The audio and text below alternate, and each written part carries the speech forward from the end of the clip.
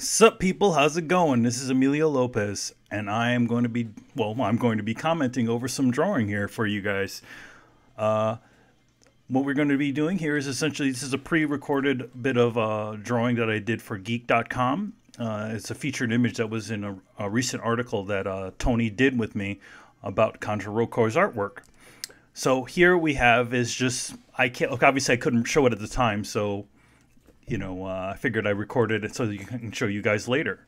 Uh, right here, I'm kind of demonstrating the um, the resolution that we were actually drawing these comic book these comics at. Uh, normal resolution in general is going to be t- uh, 1080. Uh, that's pretty much standard. 4K, that's set, and 8K. So, you're gonna. I'm gonna write it here right now. An 8K right there, just to show you the differences of the sizes of artwork that well that we did for the for the for the uh, motion comic. Uh, we kind of um, wanted to be able to zoom into different uh, characters and all kinds of other stuff. So here is the drawing. Uh, I actually did this sketch on the um, on the way, pretty much going into uh, to uh, 4K. Uh, excuse me, Konami Cross Media every single day. I took about a two to three hour bus ride every single day to get there and do the motion comics because they wanted me to be in house. So I'm traveling up from Pennsylvania to New York City. So yeah, about four hours of four hours four hours of my day was uh, devoted to traveling in and out of New York. Uh, if you guys look at the bottom of the screen, you notice that there's a promo code that showed up there. That's for Insert Coin. If you guys are interested in going getting some really cool swag from Insert Coin, they were nice and gave me a, a cool code. So here's my reference. Uh, you might notice that uh, you saw Kaiser was bald. Uh, that's because whenever you, uh, if you have an OBJ file and you're just kind of doing a quick render, it uh, in Photoshop, it will not uh, it will not it will not um, render um, tr- sort of transparent um, item uh, items like hair and and stuff like that, like you know the cards that are used for hair and stuff, because they're semi-transparent and. So yeah, that's why Kaiser here is bald in the 3D artwork there.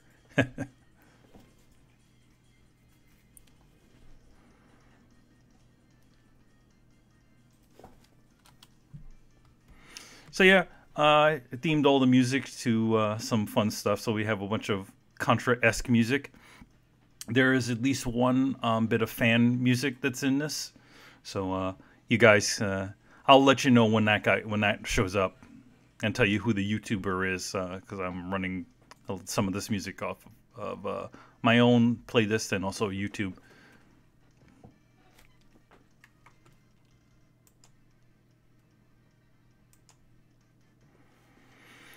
So pretty much what I'm going to be doing in this in this session of this drawing session is going I'm going to be essentially solidifying the actual drawing, uh, probably mostly inking it, uh, and then there might be some adjustments that I'll do later on.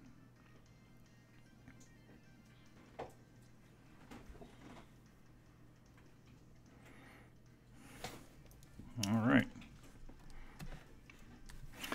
And you might see so every so often you might see a couple of notes here and there just uh, to kind of uh, I let myself. I actually need to let myself know in the future when I'm done. So you'll see like you know ink done or something like that. I can't exactly remember what I wrote on it.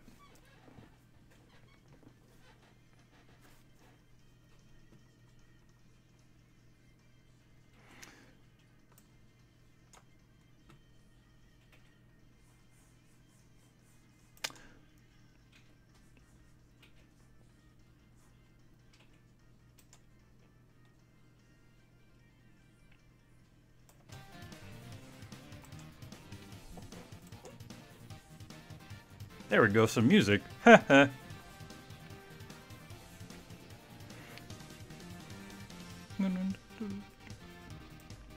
Hmm.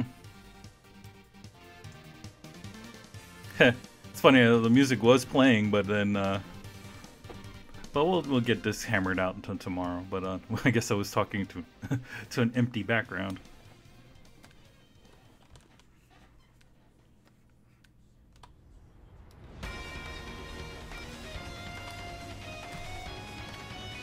This song is a song from uh, Contra Corps, actually. Uh,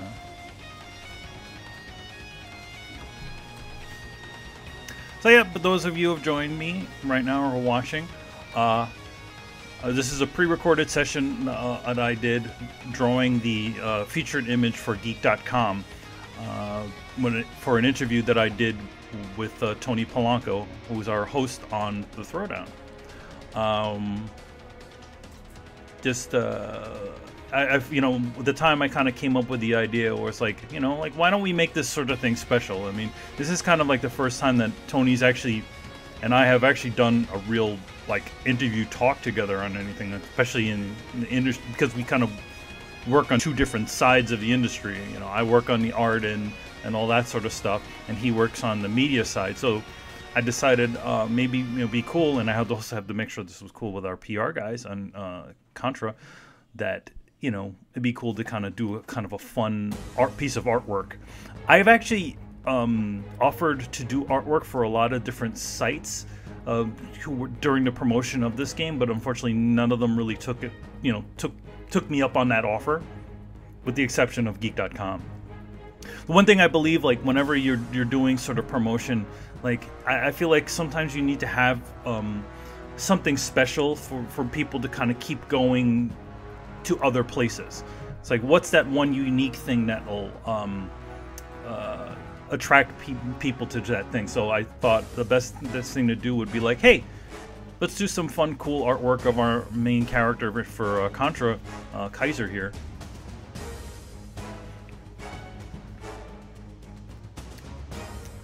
So I don't know the full details about um, about the composers for this game, but I do know that the uh, some former Metal Gear um, sound guys actually did work on this game. So, and in fact, like when we were doing um, uh, the motion comics, they were actually giving us comments on on how they how how ways to when we could improve the uh, the sound design in our motion comics, which was pretty awesome.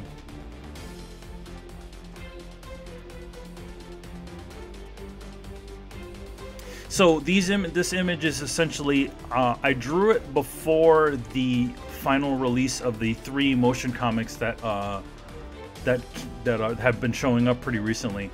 But my my sneaky little thing was I knew that they were going to be released in a certain time frame, somewhere close to where we were going to be releasing the um, so, so I, somewhere close where we were going to be doing the interview because me and Tony did an, the interview maybe a few weeks ahead of time.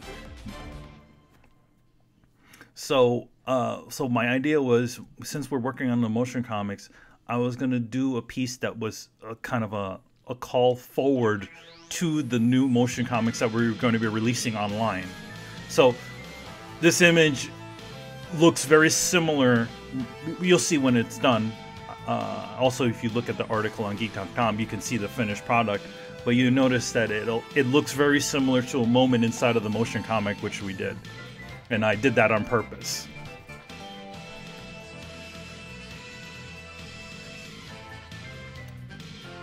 So yeah, if you, I see a few of you are watching right now. Um, feel free to ask any sort of questions. You know, it also doesn't actually need to be Contra related. It could also just be art related.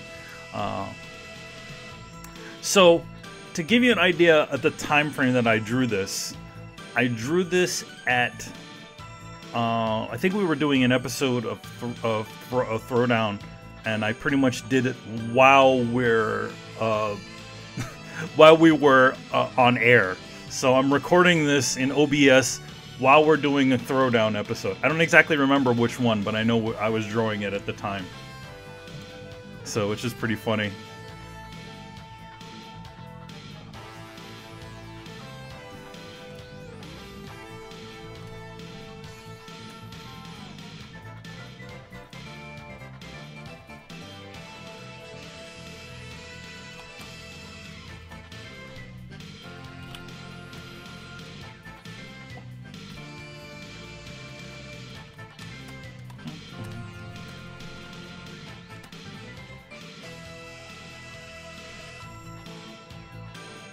Yeah, just checking up. So I guess you guys are wondering why this, what I'm doing right now. Uh, right now I'm actually working on pages for Excellence, which is uh, the comic book that I'm doing with Khary Randolph and Brandon Thomas for Image slash Skybound Entertainment.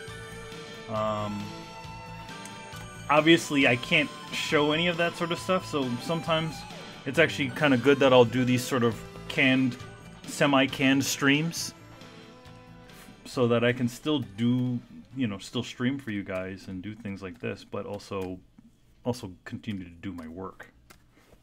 Maybe one day uh, in the future, if anybody's interested, if you would like to see me do uh, an episode of Throwdown Draws where I actually kind of go into detail as to the job that my actual job that I, my well not my actual job, the job that I do in comics. If you want to, any sort of videos of that, I can actually you know put those together. But you know, just let me know if you want it. I know a couple of you guys out there really wanted me to do episodes of Throwdown Draws. But uh, unfortunately, I haven't had much time to do much of these episodes. It's just been so busy uh, in the in the time in this time from the beginning, literally from the last year to this year. I've been pretty much just working my ass off on a bunch of different projects that all cross over at the same time. So it's been like I've been working on excellence. I've been working on excellence I'm I've been working on Contra. I've been uh, right before, uh, um, right after Contra, um, the first the batch of motion comics uh, released. You know, well, we actually shipped them over to Japan for the game. Um, I uh, and we started to, to ramp up for the online motion comics. We, um, I, I actually had another motion comic project, which was um, which was a Carnage thing from Marvel. So uh, I'm literally working on all these different things. Not only that, but also trying to do my own stuff at the same time. Absolutely no time for gaming.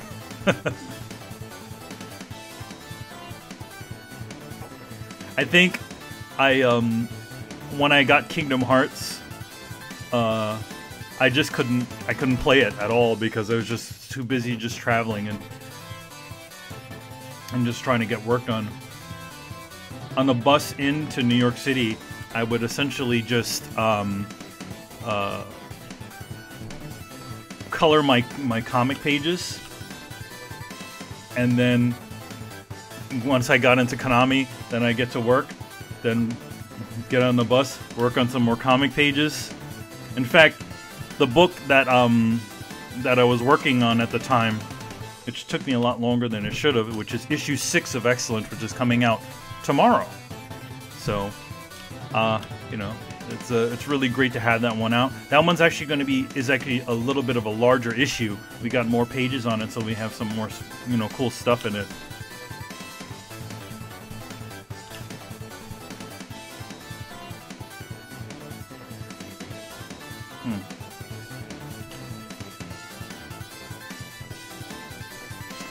So the music that you're hearing here is a mixture of music from Contra Rogue Corps.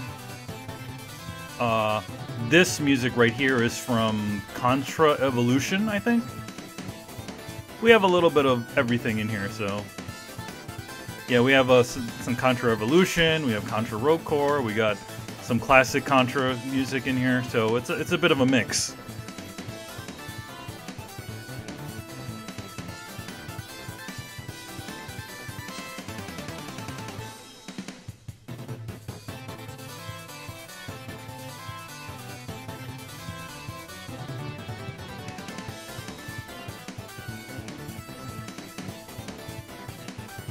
So yeah, if you can, if guys, if you're if you're watching and you're you know on Twitch, feel free to comment and ask any sort of questions that you might have. Uh, I'm open here, so. Also, by the way, um, if you look on the screen, uh, it just passed a little bit ago.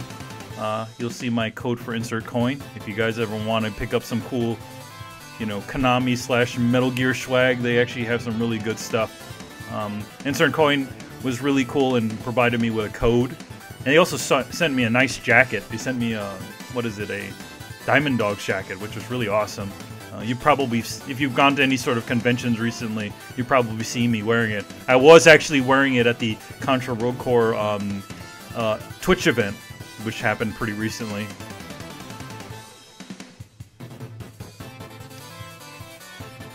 That uh, that event was actually pretty awesome. Like I got to, I got to, get, got to hang out with uh, some of my, the, my, my friends that I know over at Konami, uh, and uh, you know Konami um, El Segundo, uh, those guys, and a bunch of really cool dudes there.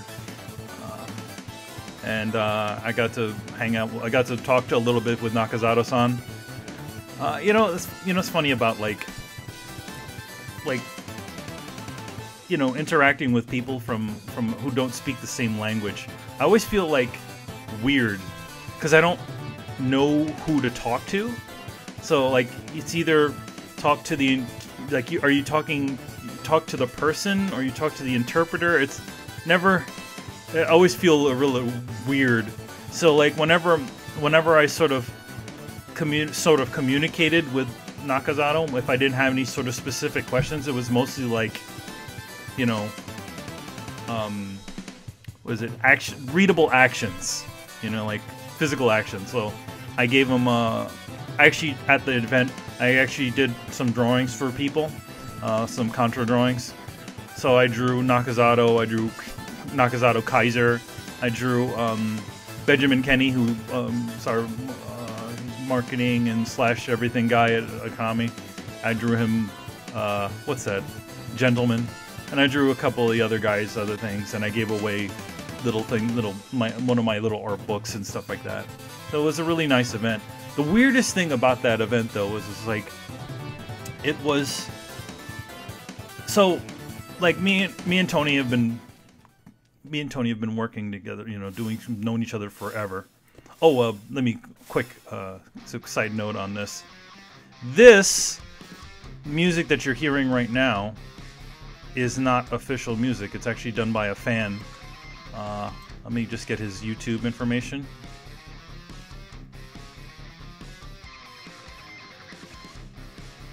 His name is Michael uh, Sobin.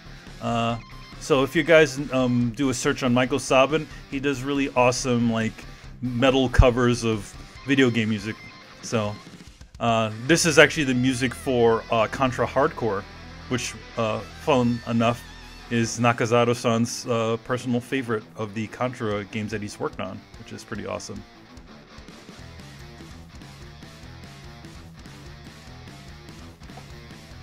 So where was? Oh yeah, so I was talking about Tony, and uh, literally like we we've known each other for a long time. We've you know we've done you know early on. Uh, you know we used to do game coverage on a site called STFU and Play, and um, you know he was writing for them and stuff like that, and he's kind of gone on to bigger, better things. But this is like the first time where our professional paths have kind of crossed officially because he does again he does media and I do artwork and you know game stuff and comics and stuff like that. So this is the first time where our our paths cross. So I'm going there to help promote um, Contra Rogue Corps and talk about the artwork and interact with all the media over there. Meanwhile, he's media and he's been invited over to play the video game, which is this is pretty kind of is pretty cool. So it's like we're meeting, uh, meeting again, in, in again uh, over over this thing that that I'm doing, which is pretty pretty awesome. The uh, Contra Rogue Corps event was held at like Amazon slash Twitch in Seattle. Super cool people over there. Um, I've never been to Seattle before, and it was it was actually a really nice experience. Um, so, and uh, the fun thing is also I got to see some of my friends who've moved over there. Uh, some really close friends that had moved moved to Seattle a few a few years ago for work or for just in general, just moving. So we kind of, me and Tony kind of connected our connected our friends, you know, from different areas, you know. So like they obviously had never known each other. We just kind of known them both separately. So we just kind of essentially you know, because they don't know a lot of people living out there in Seattle. They're just kind of just building relationships and things. They kind of moved there, like both of them moved there, and there were no, they didn't really know anybody. So it's like kind of fun. We just sort of connected them, like, hey, you know, you guys want to hang out together? It's all good.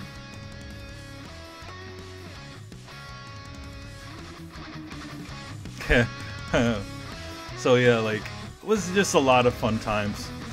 Uh, when we were um, so when I uh, when we at the end of so okay on the first day when I came in for the event, I went um, like I got in at like 9 a.m. in the morning, uh, like crazy o'clock in the morning. I had to get up at like 6 or 5 a.m. in the morning to get on the plane. Anyway, I land and the first thing we, we had to do on that day was essentially a run through and slash practice for the stream that we were going to be doing the, the following day.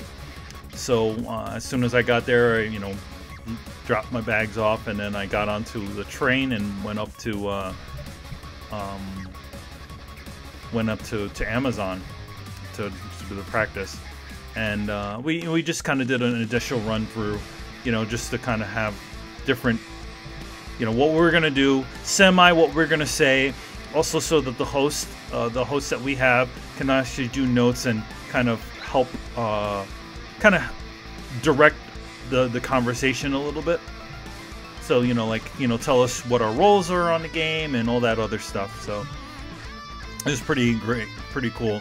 So we finished it. I think we finished around. It was it was a pretty long time that we we um, were there. Like we went we were there initially we did like a talk with the, the Nakazato, myself and Benjamin and all the guys we all talked to the you know to the Twitch people you know had like a little presentation beforehand.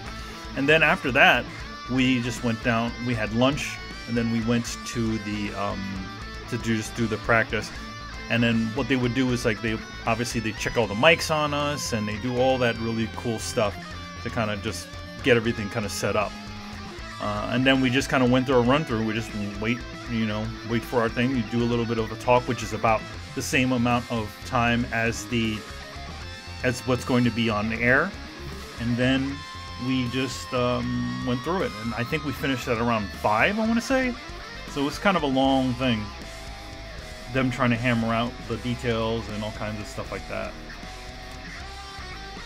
So after we so when we were coming back to the hotel, like I hitched a ride with um, with uh, some of the Konami folks back to, to back to my hotel because our hotel, the hotel I was staying at over there, was also the same hotel that all of a lot of the games media was also um, staying at. So, uh, which was really cool because I also got to interact with a lot of the, the lot of the folks before, you know, I had gotten to to do the we did the stream on Twitch.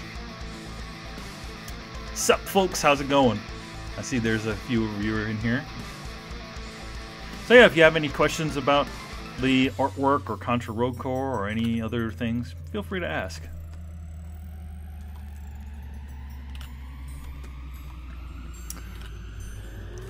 So right now, uh, just Kaiser, and uh, originally, earlier on in the video, for those who didn't see it, I demonstrated how um, the actual sizing of the um, uh, of the artwork that we drew for Contra Corps. You look to the left side. That's actually that's actually a piece that was used in um, in uh, in the motion comics, which I'm basing my the you know my inking off of on on the right side. Top you're gonna see is a bald Kaiser. Uh, bald Kaiser. Kaiser's bald because he can't because when I exported him uh, especially when you use Photoshop OBJ files, you can't um, like carded things, like things like hair and stuff, for some reason don't show up. Obviously, it's, it's probably just the way those things are kind of programmed or whatever. But it also helps because you know you get a better look at what Kaiser looks like, at least for me. You may notice that there's no cigar in his mouth. Um, uh, for a lot of the media that we did for it, we had to remove the, the cigar, obviously, because we don't want to be advertising it.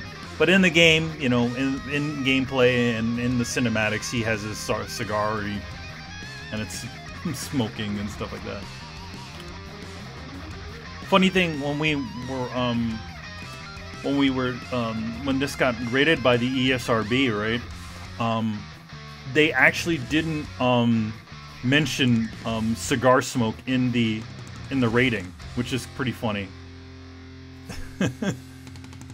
so we we literally like like the, the because like when we were initially doing. Thanks a lot. Yeah, I wish I could do more streams, man.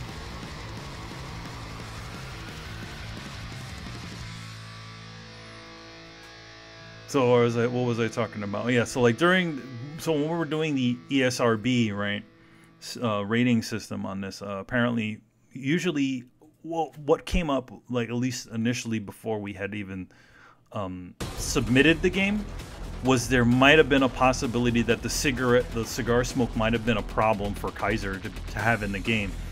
And this kind of came at toward the tail end of the motion of our motion comic and the the idea almost came up that we may have had to adjust essentially adjust all the artwork for the motion comic.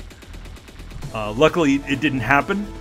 But the other funny thing is that when we thought it was going to be a problem that there was a cig- there's a cigar in the game or cigar in in Kaiser's mouth, the ESRB didn't actually put that on the box.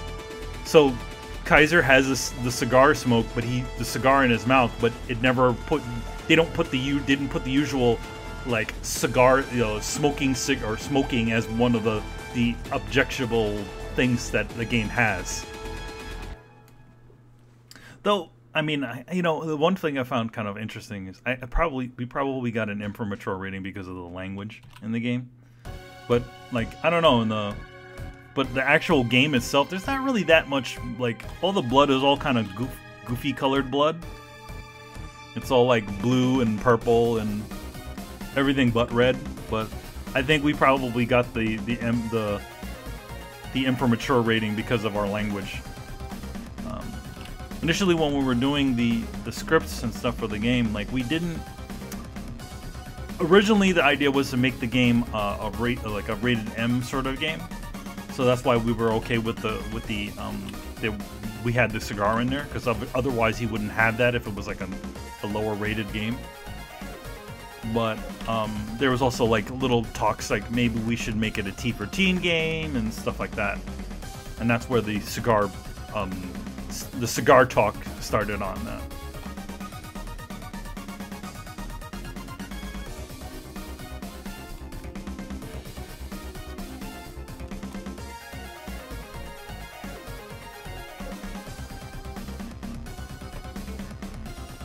Song? Where is this song from? Oh, this one's another Contra Evolution song. But yeah, I tried to populate all the music, the, the, the music that's all playing here with different eras of Contra. Some some will be fun. But uh, I put the Contra Evolution stuff in here because I, I, they sound really good. Like, I know people don't. I'm not sure how people reacted to that game, but uh, the music in it's really awesome. It's like nice remixes of classic um, classic uh, Contra themes from all the different games.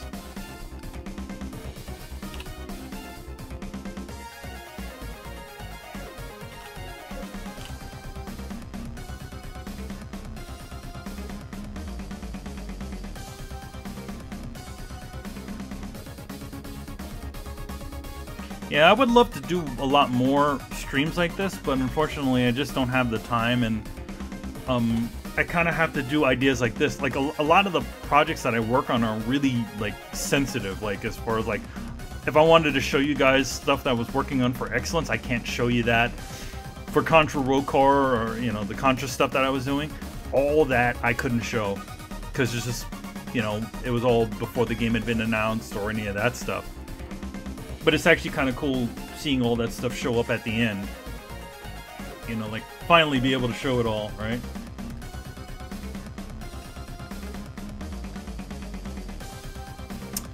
So um, we did. Uh, so so to, let's see, what else should I talk about? Uh, yeah, so like I guess I go talk about the, the, the, reference artwork I have sitting on the left side of the bottom left. That uh, was a, as I said before, it was a piece that was used inside of the motion comics, the most recent online motion comics. So we did about three motion comics, which were pretty awesome because in those we actually got to have Bill and Lance in it, and we also got to visit all the the some of the class like classic places from the original Contra game.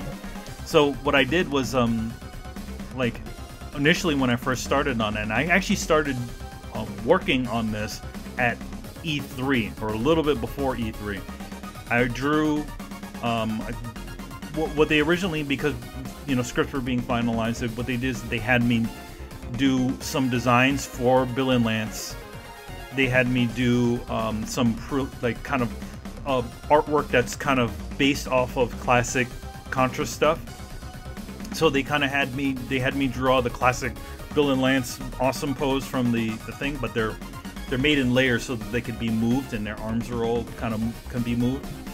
And yeah, so when I redes I didn't fully redesign Bill and Lance. I just semi modernized their equipment a little bit.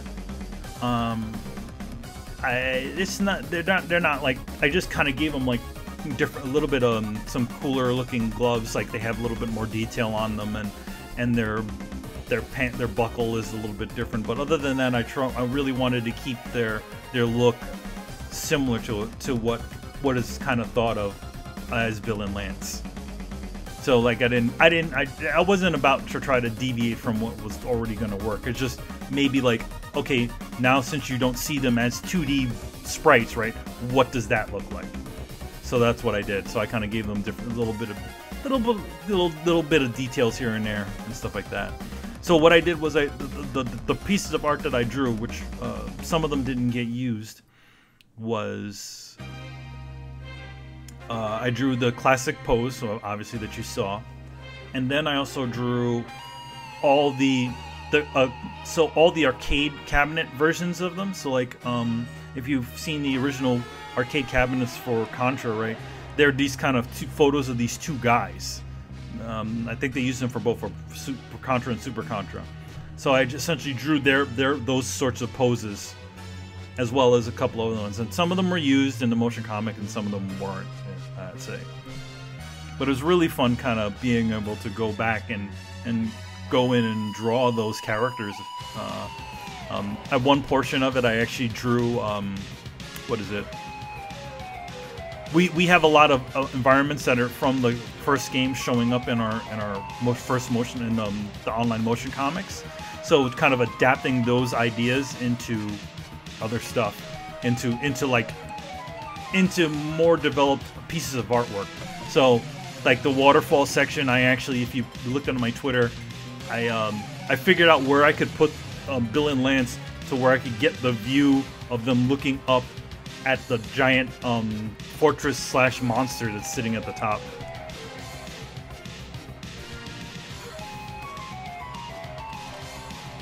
I even I even posted a little arrow pointing where where it was on there.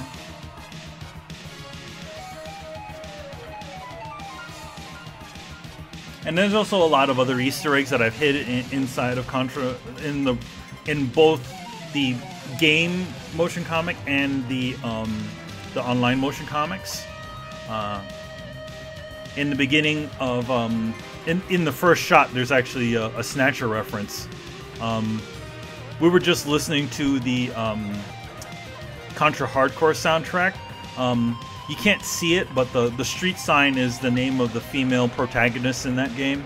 Uh, if you look on the top right of it, um, there's also like if you look on the the the marquee of the board going by. There's also a couple of fun other Easter eggs.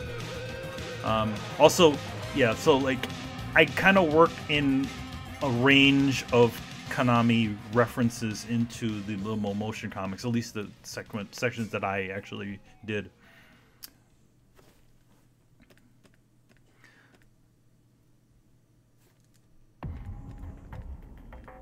So yeah, if you have any sort of questions about the work or you know any of the work that I've done or the stuff I've done on Contra, feel free to ask. Uh,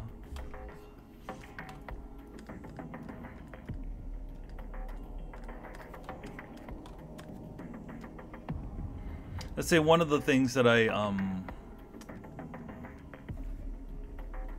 that I did like initially getting onto this project was like it was kind of a chance sort of thing that sort of happened. I think it was in August of last year, or uh, maybe even before that, June.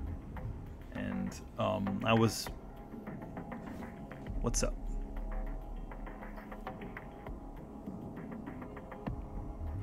Hey, what's up, Siki?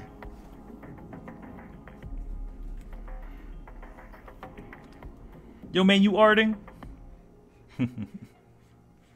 so uh, you have a you have a big old a big old 24 hour stream coming, don't you?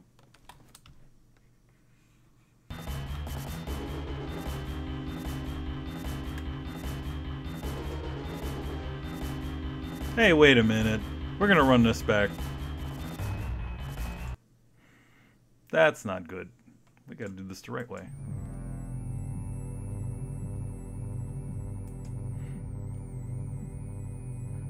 Am I gonna be doing extra life? I do. It's funny because I almost, I, I, I don't know. I, I, I could never do a 24 hour thing. I mean, granted, I do stay up close to 24 hours working, so I could do it.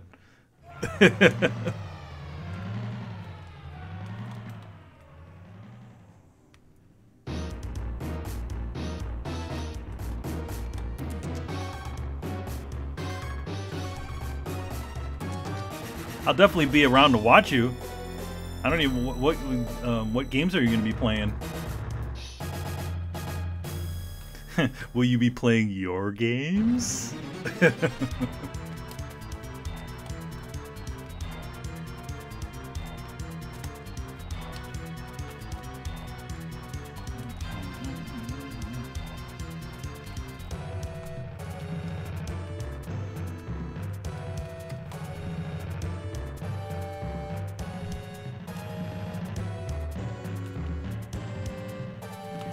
wonder if a lot of these guys still work at Konami. Like the, the guys, the, like the composer of this soundtrack, are they still there? It's funny because like it was it was it, it, was a surprise even that like when I heard when when we first started on Contra, like I'm like okay like so who's doing it and they're like oh it's um the guy who did who uh, who did work on um produced the stuff on um and directed um, Contra 3 and did work and Contra Hard Corps and the director of Rocket Knight Adventure. I'm like, wait, that guy still works there? So it was it was interesting, like when you know just hearing that that like one of the things is like especially when it comes to a lot of the creators beside um, the more well-known Konami guys, right? Like you know Kojima and and Igarashi and the creator of you know the guys who created Silent Hill, right? Those are names that you always hear all the time, but then you don't you don't hear these guys. You don't hear guys like Nakazato or if any of the other guys still work over there.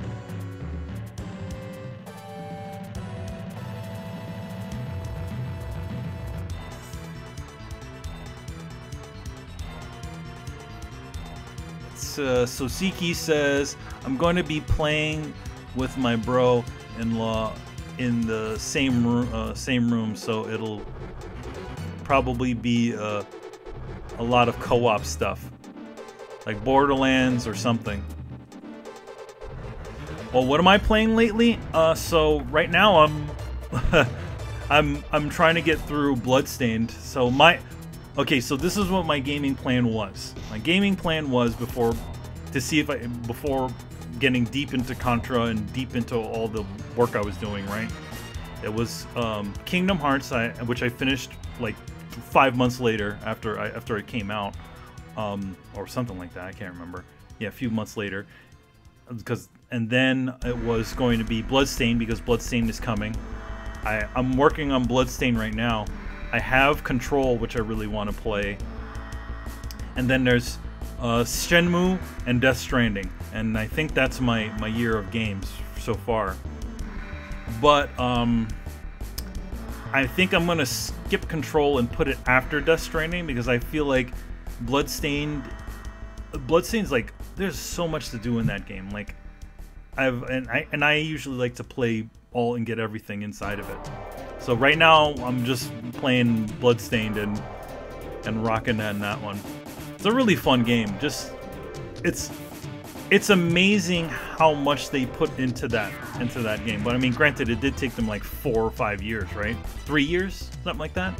I think it was announced at the same time as uh, Death Stranding, or close to it.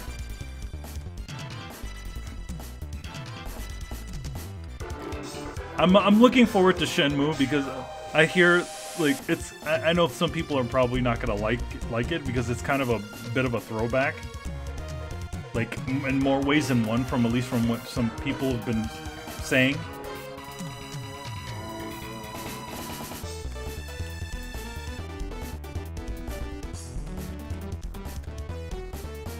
So yeah. Uh, one game I know I will not be playing is uh, Last of Us 2 because I, I, don't know I it's not that I, I don't hate that game it's just like I just don't like that world it's just so depressing and horrible. I could only really bring myself to play Last of Us once.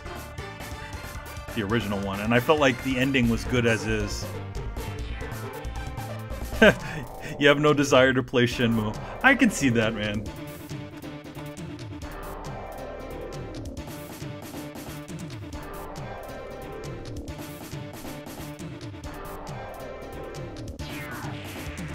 I feel like the not I feel like the the weird part of it is like because it's taken so long to get this one, I think for a lot of people the sort of novelty is kind of worn off for Shenmue a little bit. But um, I'm interested in playing it. I haven't play actually played Shenmue 2. I, I just find it, I, I don't know. I played the original Shenmue, and then when they put it on Xbox, I really didn't go for it. I never, I never bought it. I bought an Xbox or anything for it. So it's out on PlayStation 4, but uh, they kind of just did a bare bones port. They really didn't do anything to it, like improve any of the textures or, you know, do essentially do what some of what Square has been doing as of late, where they're essentially re, you know, they're painting new textures or putting in new models. You know, uh, new um, character models inside the game.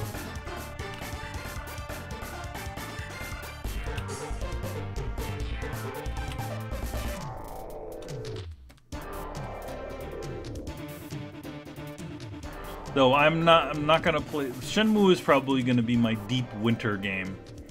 Um like while everybody's playing Last of Us 2, I'm probably gonna go in and be playing um Shenmue.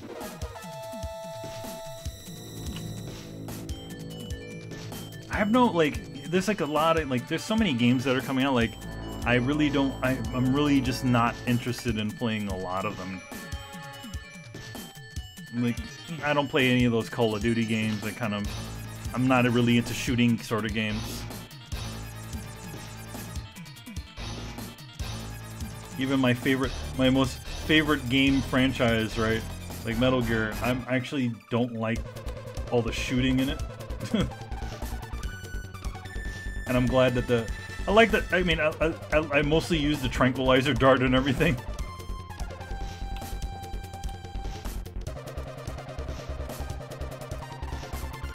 for me, like I like games with like me like a lot of like games that have melee in them.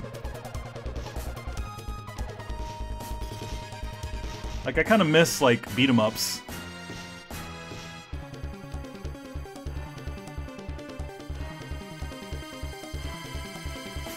Sup, Barry Burton? How's it going? And everybody in here has been good. We don't, we don't have a bunch of rowdies.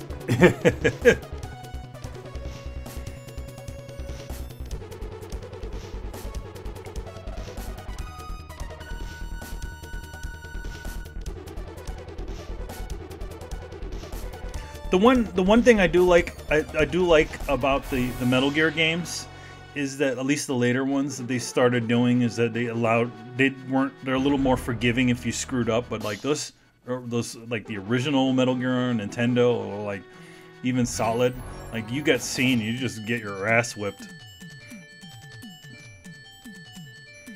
Yeah, I, uh, Siki says, yeah, oh yeah, I play Metal Gear as stealth. I'll try out, uh, try out the run and gun stuff once, but for me, it's about trying to to go uh, completely undetected. That's the same here for me too.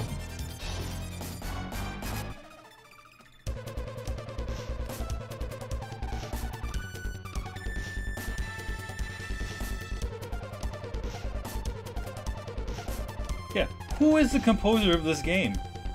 Uh, for Contra, Super Contra or Contra 3, the Alien Wars. So, um, the uh, Contra Rogue Corps games take place after the Alien Wars. At least that's the way um, we um, Nakazato and, and, the, and the writers um, said it was. Uh, so uh, yeah, it's it's kind of fun that uh, that they're kind of did that did a little of that.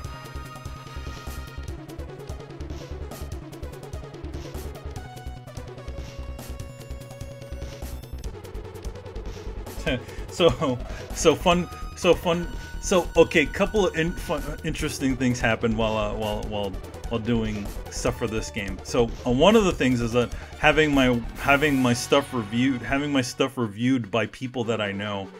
So uh on uh what is it? On i i know the i know the um the uh the writer on IGN who wrote the the, the, the review for Contra Rogue Corps, and uh, it's funny. It's funny having something that you worked on laid in, getting laid, laid into by somebody that you know. I don't usually. I don't take. I don't take that sort of stuff personally. To be honest, it's like it's not my. It's not my.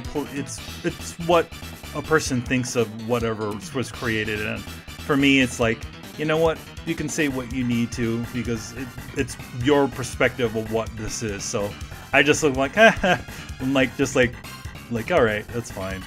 And then um, another another friend of mine, uh, you know, well, uh, an acquaintance of mine, actually sent me sent me before before the review it went up. They literally were like, hey, uh, I kind of lay into this game pretty damn hard. Uh, sorry, man. I'm like, what? What's to be sorry about, man?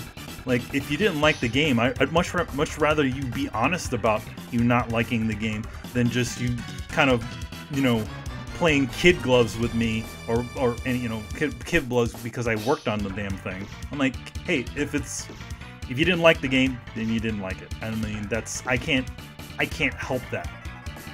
To be honest, it's like if you're it as you might, you know, and, and those of you out there who do create for a living, try as you might, you obviously want somebody to enjoy the things that you create, but that's not always going to happen.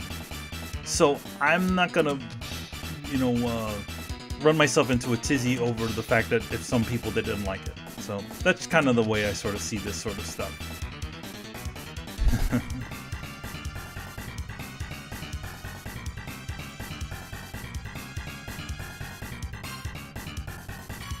so on this um, on this um, uh, this this this stuff for Contra, I actually did a lot of the drawing in a program called Clip Studio Paint. I think it's called Clip Studio or Clip Studio Paint, or I don't know what it's called. It's called Clip Studio, and it was probably the. Oh, oh good. I'm glad you liked it. I did a lot of the artwork in Clips uh, uh, Clip Studio Paint, and uh, it was probably the only program that can really handle the sizes uh, the sizes that we were kind of working in.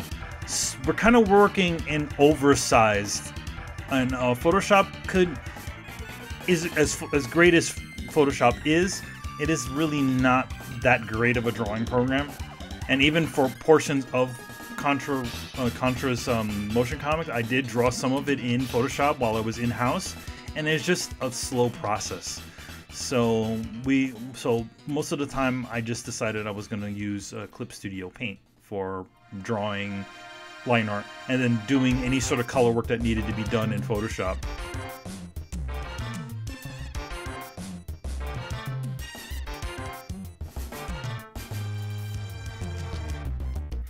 Serki says you also don't program, design, or uh, produce produce it, so uh, there is no ownership on the on that level. I I like the stuff you did uh, for it from what I've seen. Thanks a lot, man. I mean, we, we we try to do our best on it, and that's that's all you can really ask for, man. And yeah, definitely, I'm not I'm not the I'm not the game designer. I'm not the director. I'm just the guy who makes who who did the cinematics for the game, you know. And uh, and I'm happy with the work that our team produced, and that's that's my thing. And then the biggest thing about this was just like, I not only got to work on, on kind of a new a new Contra game, but at the same time I got to work with a bunch of people that I work haven't worked with in over 10 years. Like so the company that um that uh that I was working at or which is now called uh, for kids um uh, uh, excuse me not called 4Kids it's called Konami Cross Media they used to be uh, 4Kids productions which used to produce the Ninja Turtles cartoon that I used to work on like 10 years ago.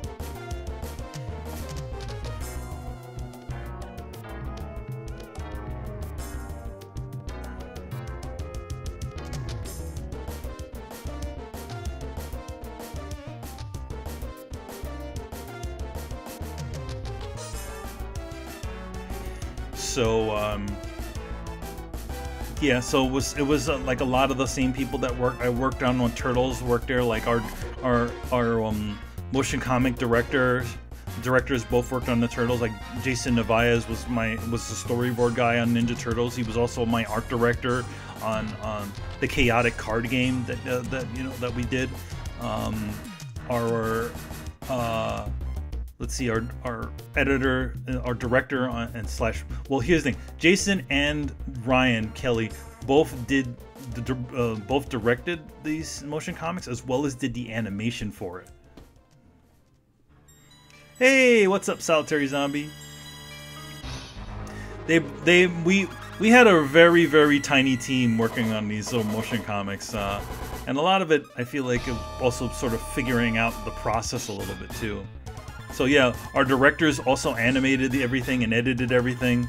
So it was uh, our one of our directors, Jason. He didn't know anything about uh, After Effects or Premiere, and he literally taught himself on the job to kind of be able to help out Ryan to animate these things. So it was a very, it was a very sort of like couple of guys, like a few guys just doing this, and then obviously our our our uh, color slash paint or color artist slash painter uh, Tony Washington. That guy's a beast. He literally painted every single uh, every single sh- digitally painted every single shot in the game.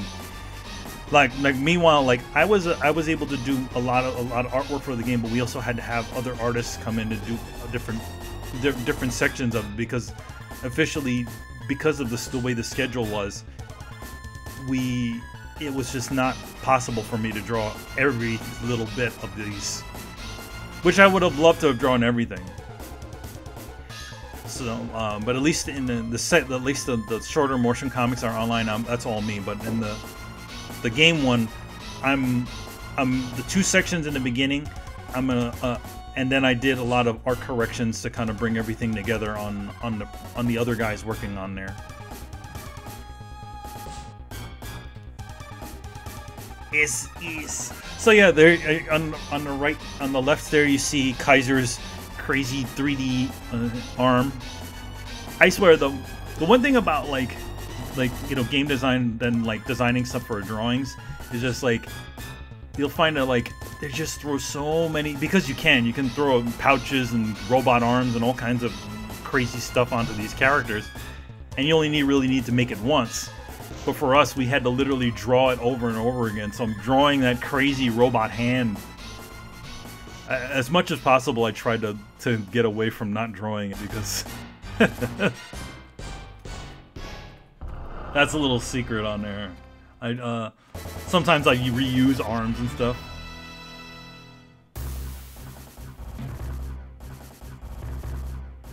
Yep, I'm rocking it in, in Clip Studio.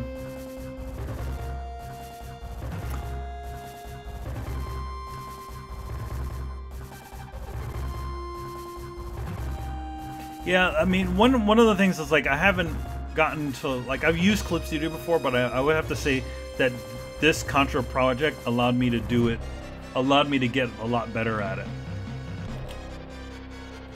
I was literally like, not only was I drawing these these comic pages in, uh, these com the comic um, shots in in Clip Studio, but I was also um, using Clip Studio to to uh, to flat to, to to color Excellence. In fact, Excellence number six was mostly colored in Clip Studio on a bus, by the way.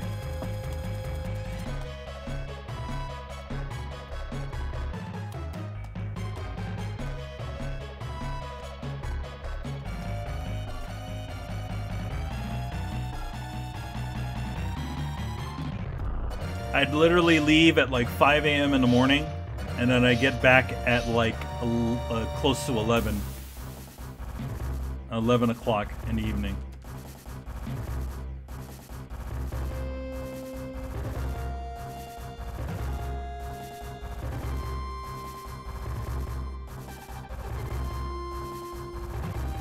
Yeah, there's a couple of Photoshop brushes that I would I really wish that were that I could bring over. But eh, I ended up I end up I end up going into Photoshop anyway. Hi there.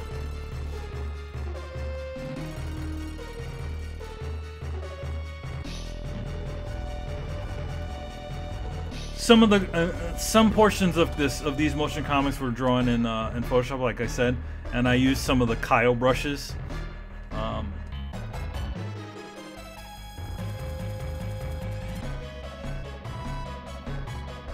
Some of his drawing brushes uh, for Photoshop are actually really good. But though, when you get though when you get to absurd like an absurd um, resolution that like we're working on like I'm working on here I'm actually drawing this image in, in 4k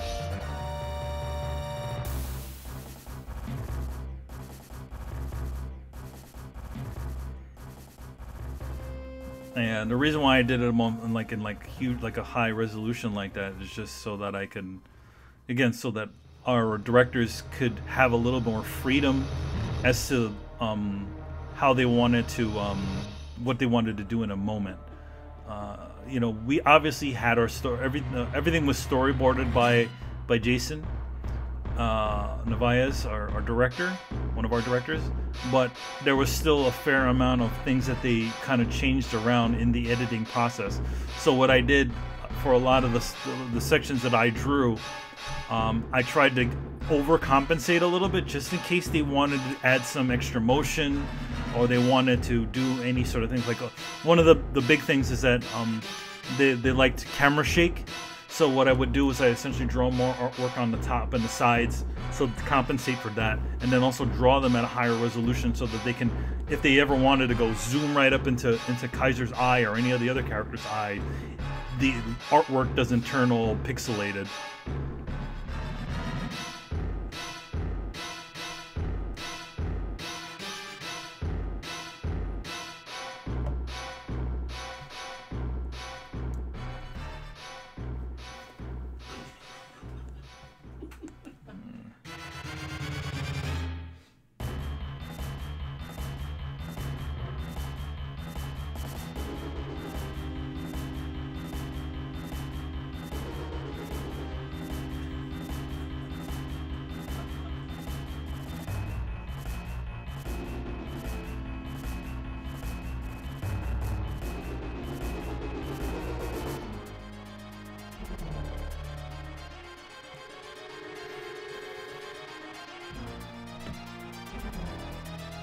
So yeah, right here you're seeing me kind of adjusting the, the artwork a little bit. Uh, I, I as I remember, I drew everything on a on a separate layer, uh, at least his hand, because I, I wanted I wanted when he had his hand up into his head, I wanted it to kind of be peeking through a little bit of his uh, one of his fingers.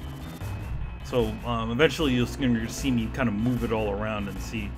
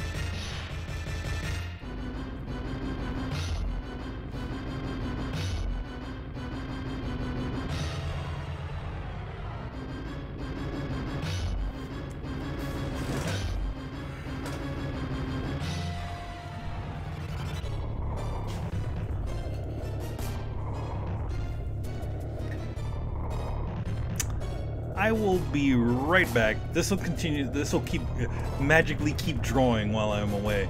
Uh, I'm just gonna go get a, you know, go use the bathroom and everything, and uh, I'll be right back.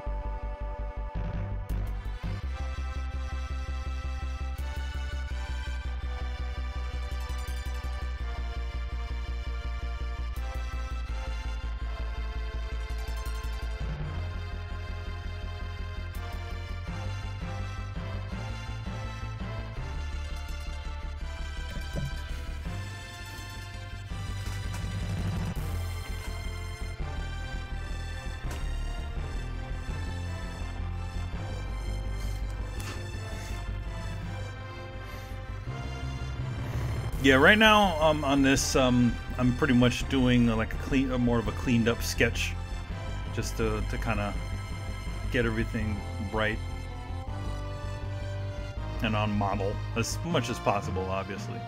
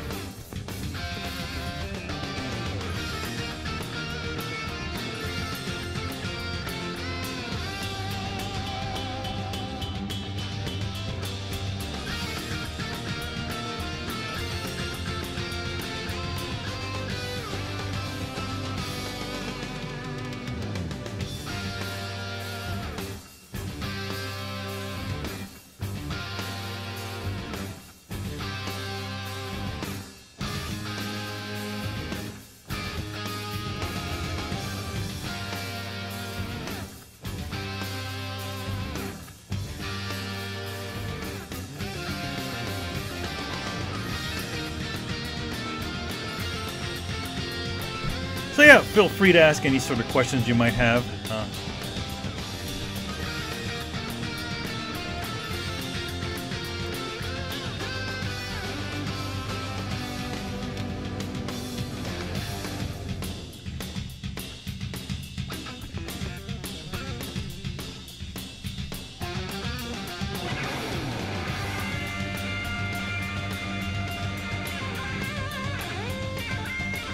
uh, when I when I did I when I created this playlist, I kind of did a search of all kinds of different like uh, maybe some obscure things, some the different Contra games and and uh, all kinds of other fun stuff. This um, this right here is from the uh, Konami Battle Beat game. It's a it's a cover of a Contra song.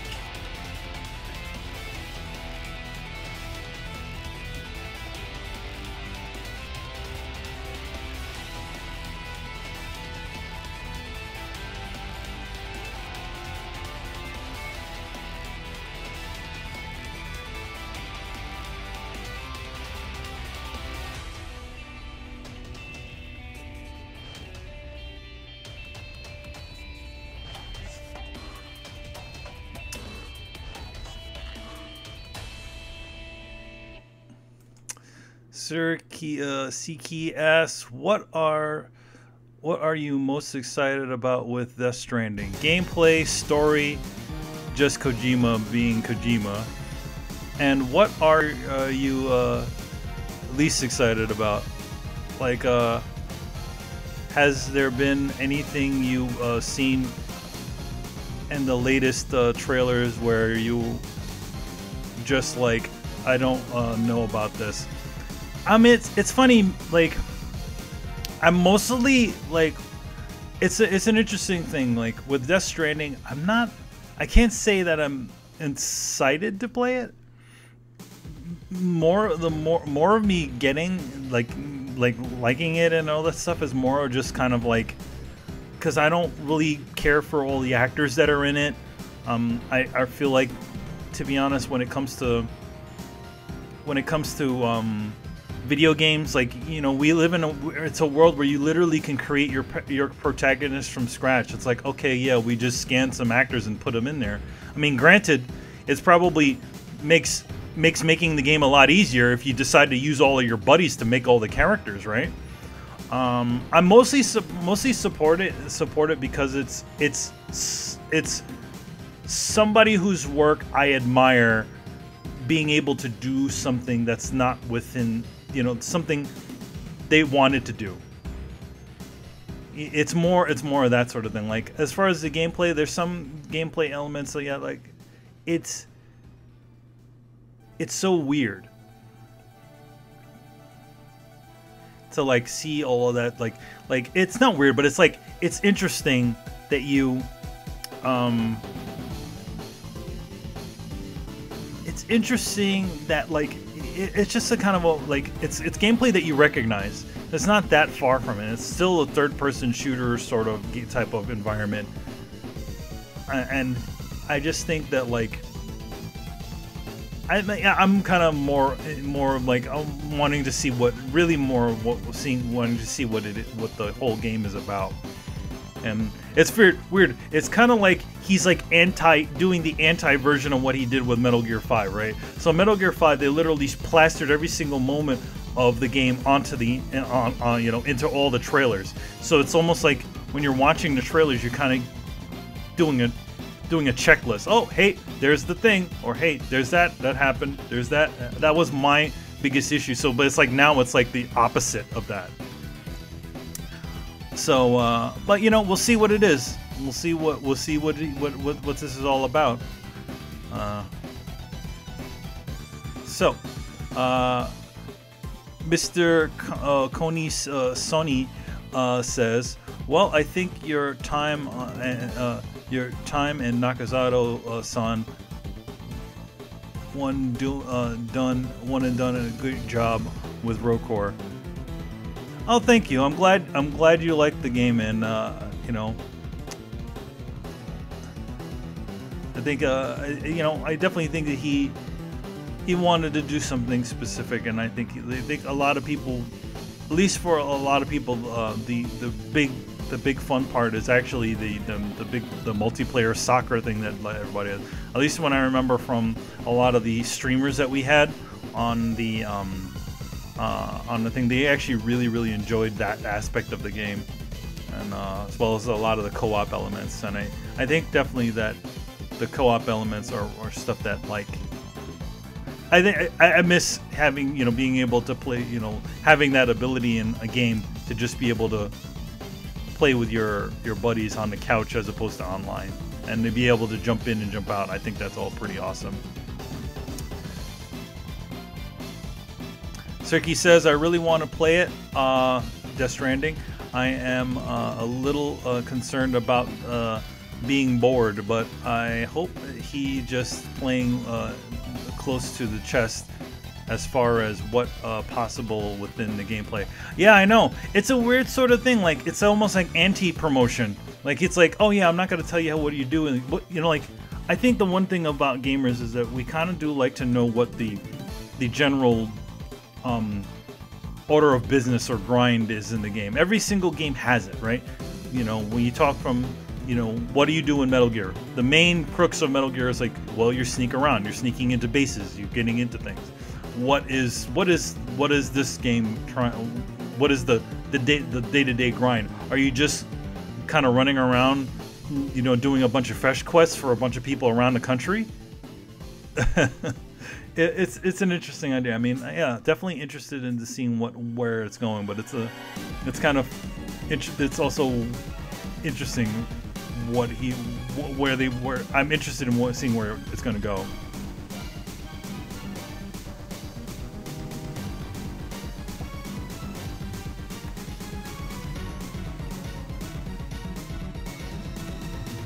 I do think that like at least in, in uh, talking about that, that talking about it, like I do definitely think that the game is definitely people are there's going to be some people that are just going to be purely like oh what the hell is this? And then there's going to be like people oh wow this is great. You know? It's going to be I feel like the game is going to be quite polarizing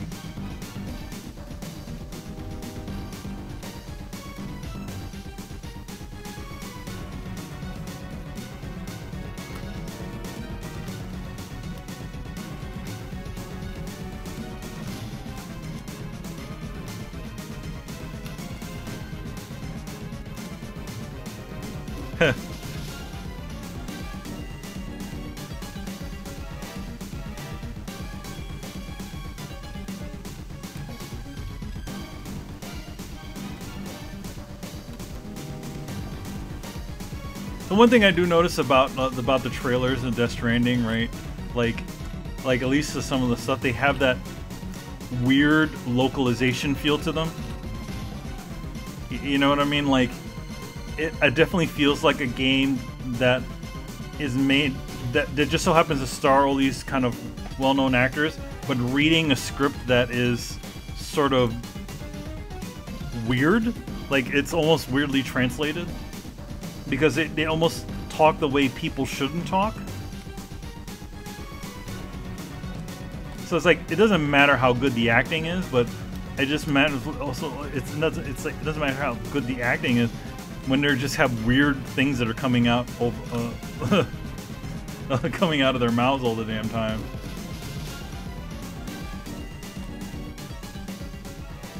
One thing I noticed that happens with a lot of Japanese content that's been translated is that sometimes the conversations don't feel natural. They almost feel like, as opposed to talking to each other, they're sort of talking at each other. I want to say like the biggest culprit of that is like Metal Gear, not Metal Gear, um, um, Zone of Enders uh, Second Runner, where it has really, really weird localization inside of it. I mean, it kind of makes it. I think the quirkiness sort of makes it fun, and you know, was kind of fun. But I also think like when you're trying to take something seriously, and there's just kind of weird conversations are coming out of these characters, it kind of. I feel like at least for me, it sort of takes me out of it a little bit.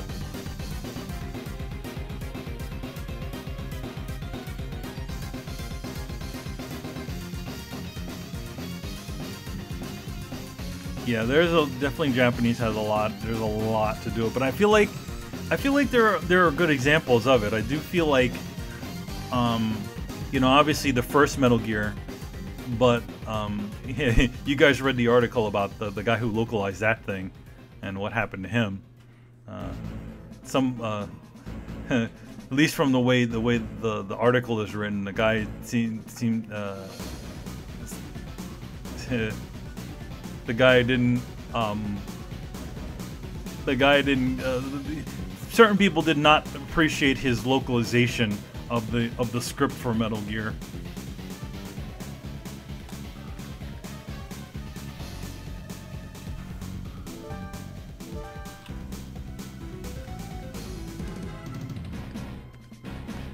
That's funny. The same guy who did who localized the script for Metal Gear is also the same guy who created that who did who did that that that uh, line. You know, what is a man? A miserable pile of secrets. That's the same guy, which is pretty hilarious.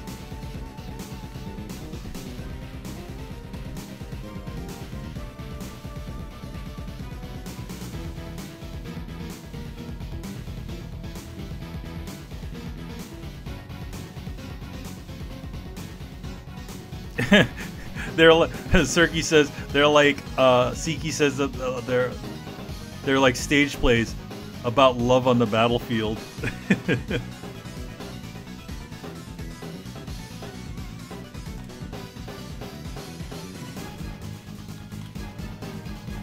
I mean, here's the thing.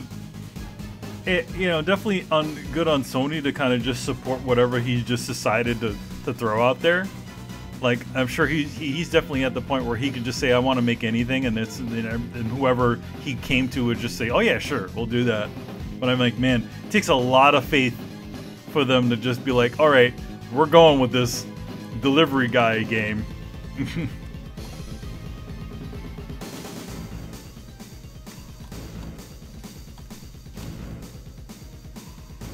I mean, like, dude, like, like I mean, like at least from at least from what I remember him saying that they didn't um just Sony's just kind of like just accepting it. Like they're not. He didn't need to do like a bunch of crazy design documents and all kinds of other things. So he's just kind of playing, sort of playing it by ear, off off of a semi script. It's interesting.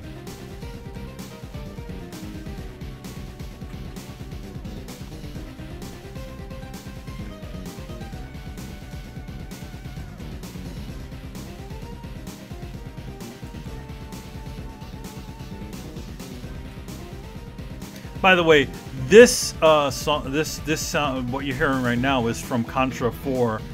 Um, it's actually really well, really good music for a Game Boy Advance, right?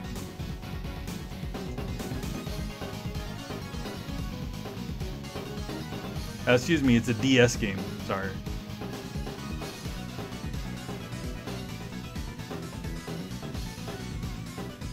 Like really good, really good sounding samples and stuff in here.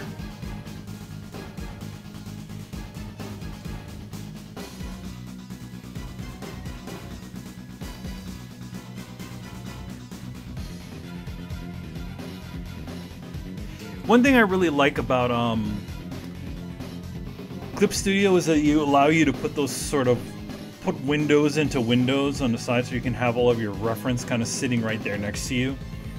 Uh, that's part of what I did on here. Well, you can kind of like attach them to each other and you just kind of move them around to certain points. As opposed to having like Photoshop where you just have like another little window sitting here and another one. I'm sure the newer version of Photoshop, I don't have a new version of Photoshop, uh, actually allows that A couple of things the um, the new Photoshop, which is funny. They actually changed some of the the the um, what do they call them? Some of the keystrokes and what they do. So as opposed to playing Control Control and Alt um, an Alt to uh, to go back in. Um, you have to go back in your history. They actually did it a different way.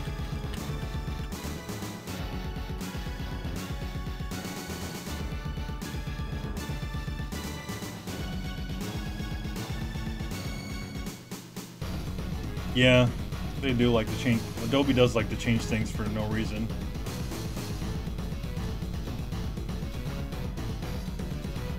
But here's the thing, like when you press um Control Z, right? Uh, I mean, yeah, Control Z. Um, like at least for for Clip Studio, it's um you just go back in history. So it's funny they kind of changed it the way everybody else kind of has it. And then when you could press Control Alt Z, that does one one one undo back.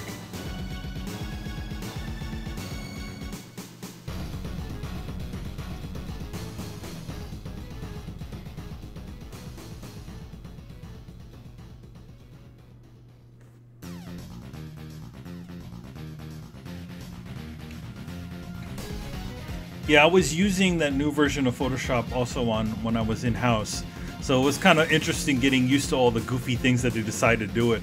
But like they have like different um what do they call them? Like window environments? I don't know what you call them. So like whenever you pull like like okay, so like if you're working with a 3D object, right? If you pull the 3D object into Photoshop, it'll switch it to like a 3D a, a mode that feels familiar to people who know 3D, which is interesting and then there's like an illustrator mode and then there's like another mode where she kind of changes around all the windows. I was like why are we doing this?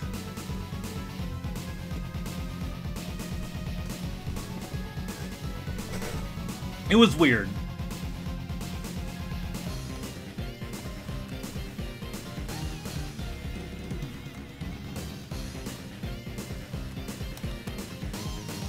Personally, I wish I wish it would just let me buy uh, buy Photoshop again instead of having to subscribe to it.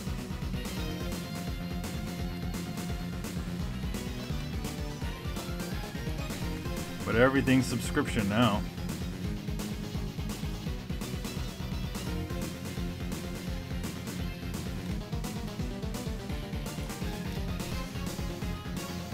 To me that was always the status symbol. It's like, oh, you're making enough money, you can go and buy the new version of actually buy the new version of Photoshop.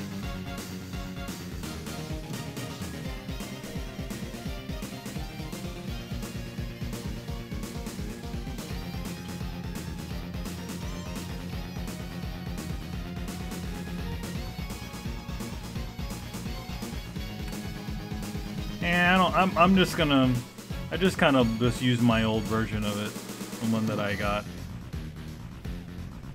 I mean, granted, there's a lot of light, a lot of nice new features that I, I think are interesting, but at the same time, it's like it doesn't matter what you're using. If anything, I'll probably see if I can buy the new the the the, the CS the CSX. You know, because I know some places still sell that one, and I'll just maybe buy that and just call it a day.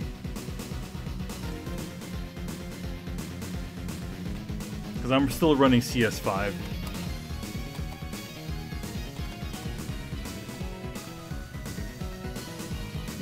one of the one of the issues one of the things that we had on Contra was like okay so they had um they had our um they had a, a you know a thing that was um they had uh the, the subscription to Adobe and what would happen is because my computer at the job we didn't have any internet I didn't have any internet on it so every so often the thing would go haywire because it couldn't call home for like for a few days uh, I think it was like I think it's every 30 days or something it wants to call home.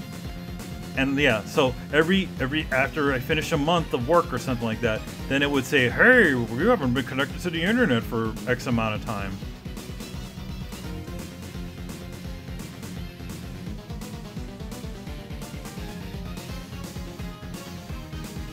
It was just kind of annoying. I was like, um, I, can I just turn on the program and not have to tell me a bunch of things like that, that I want that I need to do to it.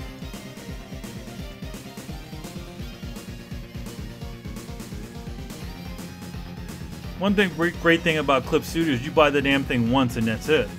And then you can choose to invest inside of like the other additional features that they put on and they still actively update the damn thing. So it's like you'll still get a, a lot of really great updates on it, right? they'll fix a bunch of issues and all kinds of other things, you know, add some new things. But they also have the area where you can kind of buy like stuff, like to like the, to, to you know like a better ruler. There's like a creator community for Clip Studio where they're making models. In fact, on Contra, on Contra, uh, I actually used a, three, a couple of 3D models with, with Clip to just kind of get a quick, a quick underdrawing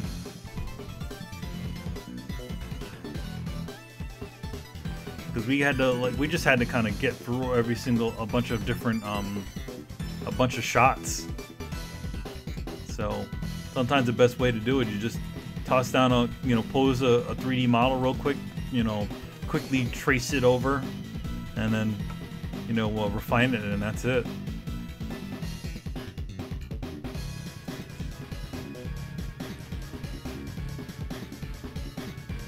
Is actually a really good soundtrack for Contra 4.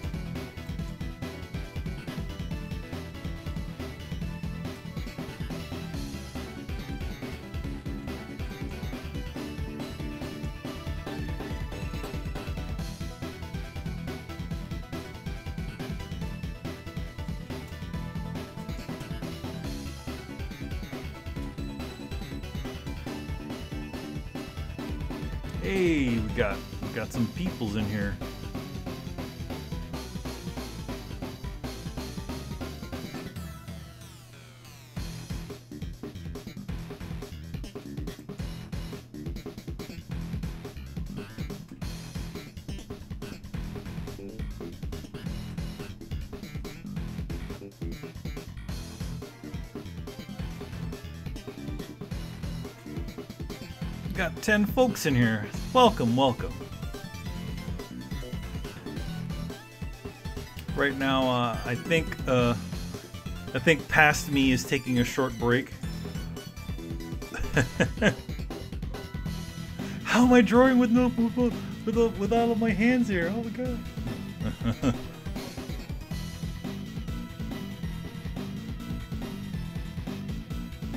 so yeah, I'm just looking at to see what's going on too probably just walked away uh, for a little bit and let the left the stream.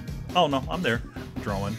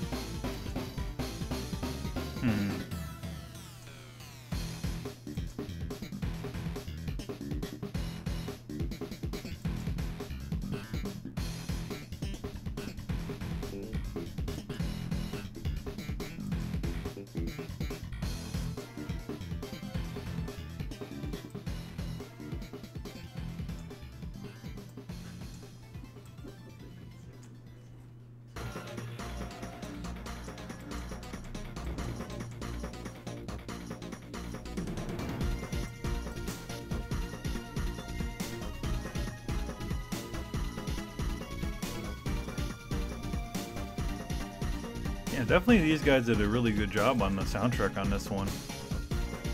I remember uh, a lot of people really liked this um, Contra 4. Surprised they did, uh, the Konami didn't toss it on the um, the Contra collection, but I think that was one of the things that they, the people were kind of um, saying uh, saying at the time, like, "Hey, how come Contra 4 is not on there?"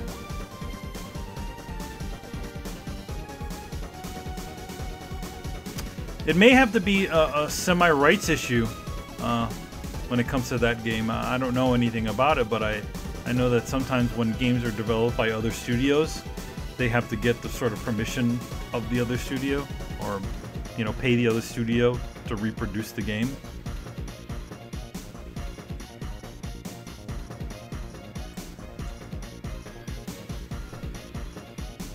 like like for instance like um the game the bouncer is is partially owned by um, dream factory. So probably the reason why that game has never obvious well also the game didn't do well but one of the reasons why it probably has never seen like a remake or a remaster or anything is because dream they probably dream factory's just like nah and then square's like eh whatever. You know the game didn't do any well do well at all anyway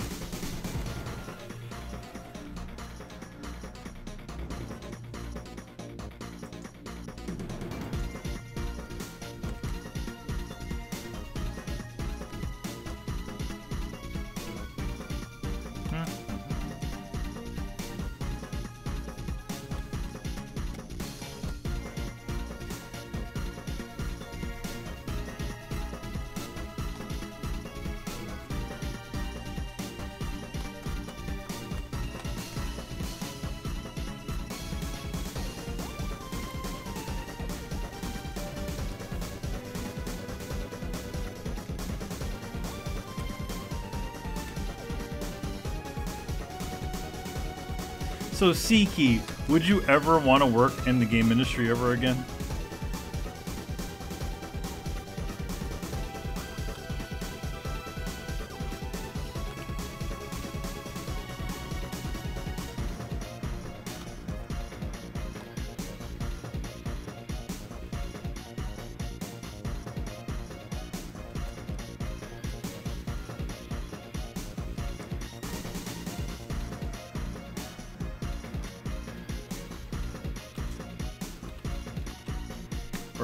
Feel like you know what I you know I've kind of bled all that blood dry and I much rather just enjoy them from afar as a as a as a fan or as a game player as opposed to being in the thick of it in the industry.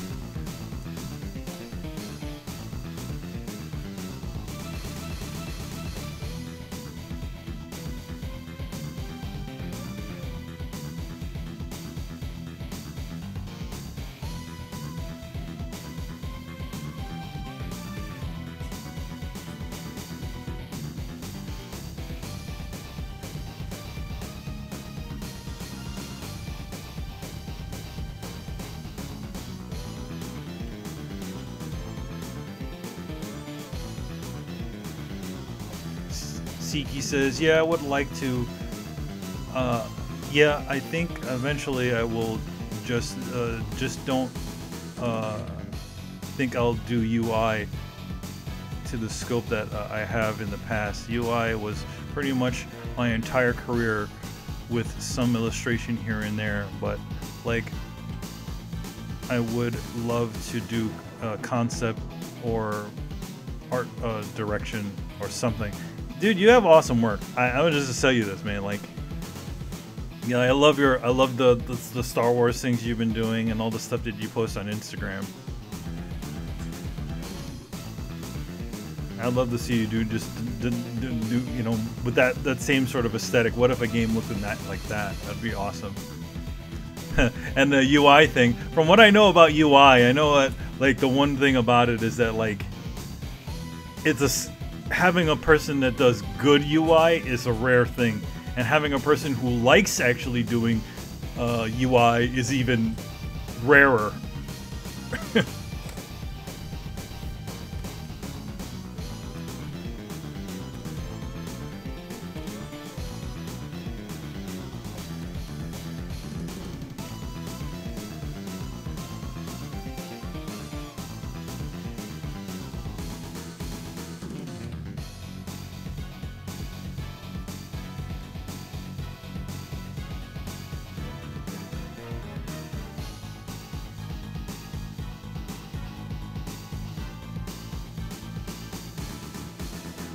Tiki uh, Siki says there is no upward mobility as a UI slash UX artist designer in most studios, so you end up having no way of really inf- uh, influencing direction of the style uh, any or anything really. Yeah, I mean, yeah.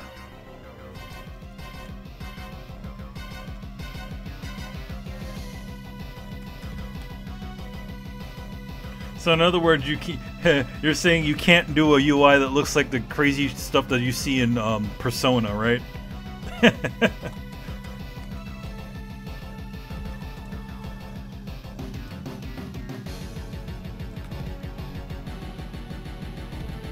Siki says, "I love UI.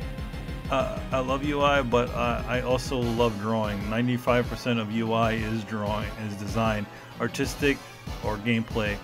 and the 5% is art, which blows uh,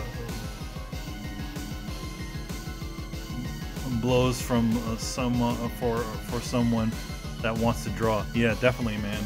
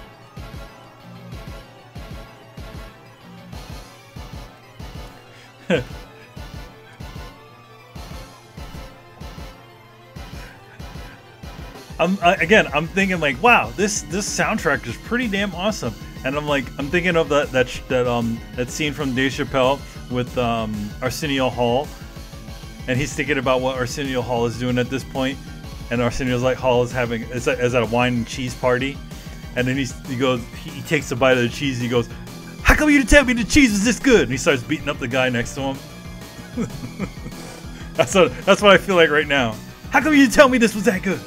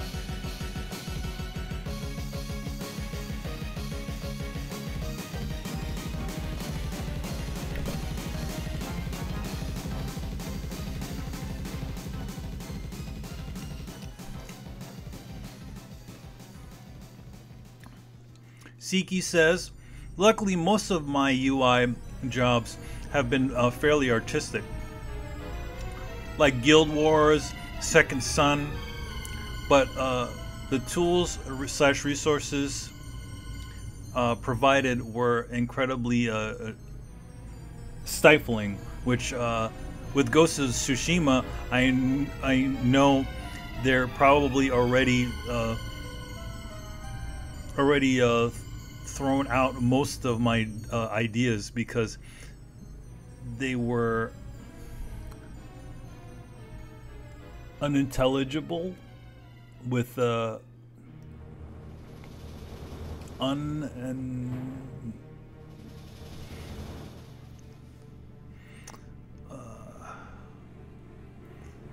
uh, with what the understandable with what the studio would uh, be willing to uh, provide.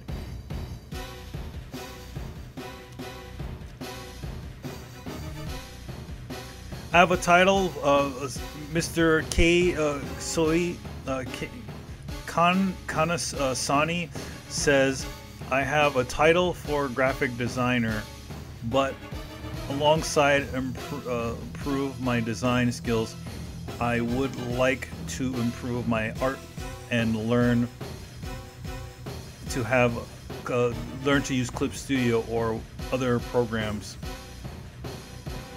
I usually use Sai uh, Studio uh, Sai Studio for digital sketches. I use I use uh, Paint Tool Sai for uh, uh, for a lot of my digital work. The only reason why for Contra I was using it, uh, using Clip Studio,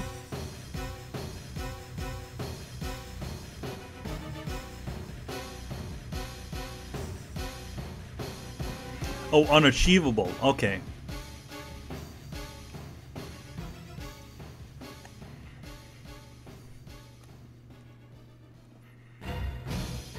Hold on for a second.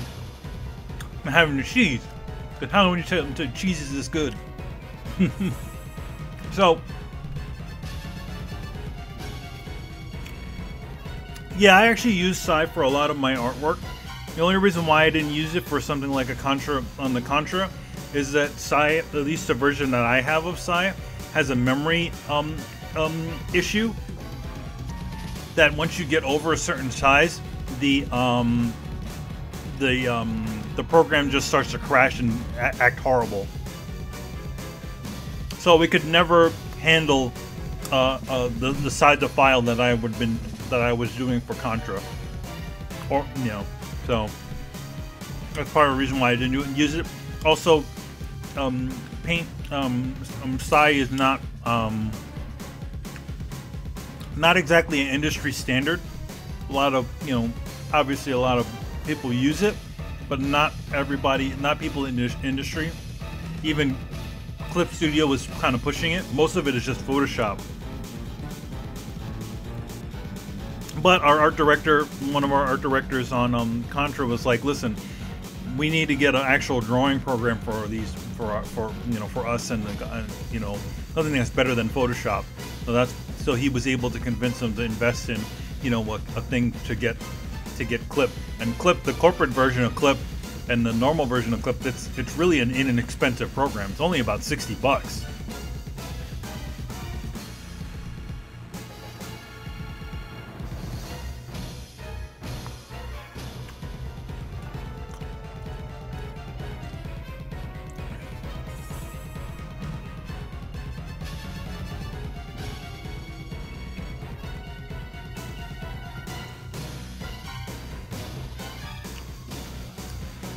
Yeah, Paint Tool Sai is a good program.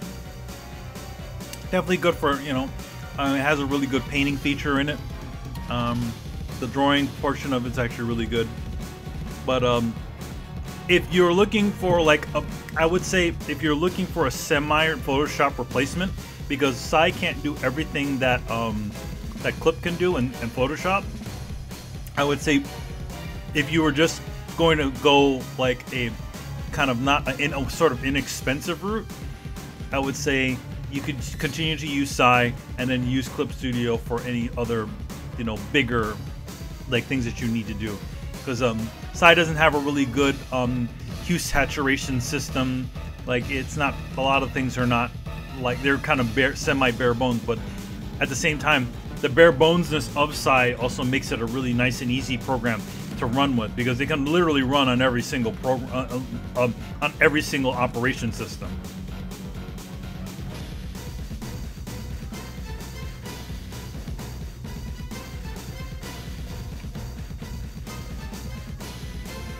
I mean, years ago, I was running that program on like Windows XP, you know, even even even it's so it's a, not a um, difficult program to kind of run. So, and even the cost is even pretty. It's not that expensive that program. Both together, you know, with less than the price of um, a Photoshop um, monthly um, subscription, you could literally get two programs that are really good. I think both both of them are both 60 bucks.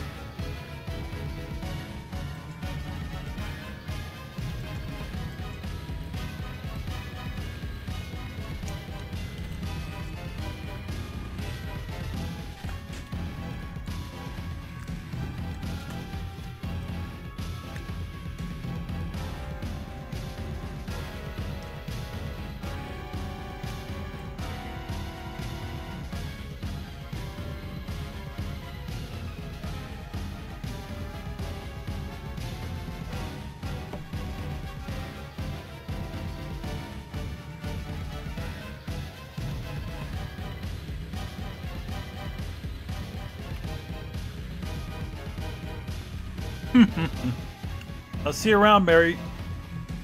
Eat well.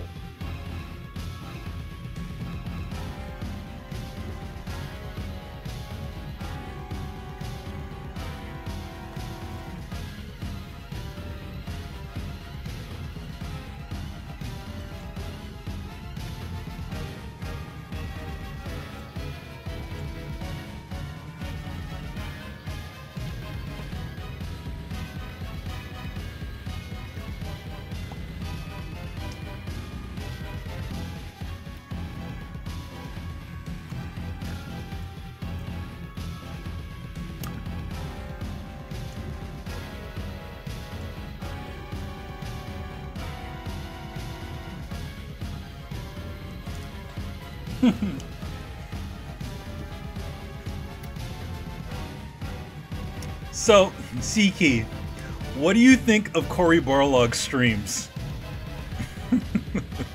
Not Cory Barlog, um, excuse me, uh, David Jaffe's streams. I, I don't know, watching them, I get the feeling like he seems like a man that's just kind of just self-destructed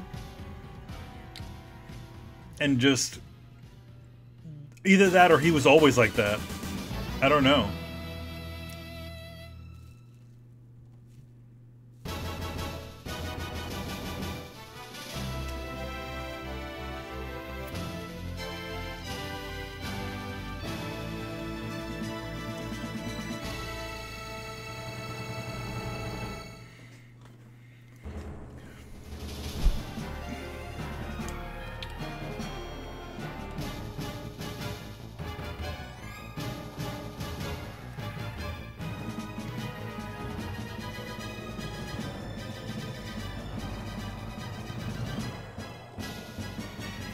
Yeah, he is. He is kind of like self-destructive. I don't know what what his his um his goal is. I mean, the guy's worked in the industry for as long as he's had, right? And then it just seems like once he got once he just got away from it all, is he just decided to blow it all out the window. I mean, he essentially it almost seems like he's just he blew out every any sort of self any sort of respect that he had with anybody in the industry. It's almost like he, it's, it's such a weird way to go.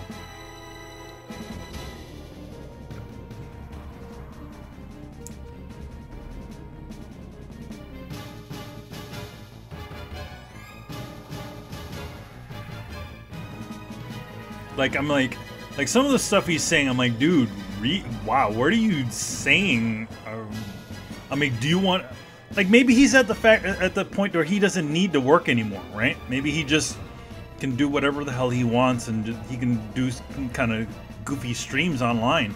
But man, that dude, I'm like, I could never do that. Like, just throw caution to the wind and just say "f you" to everything that's out there.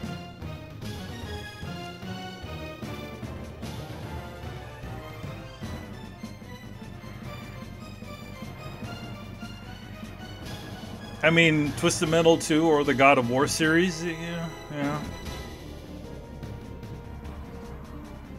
Maybe, yeah, just maybe he maybe just working and it did make it break, make his brain break.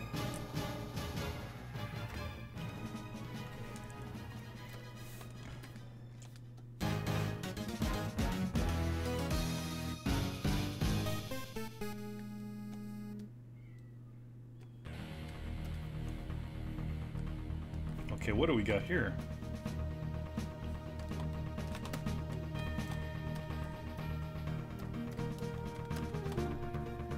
Oh, okay. That sounds like credits.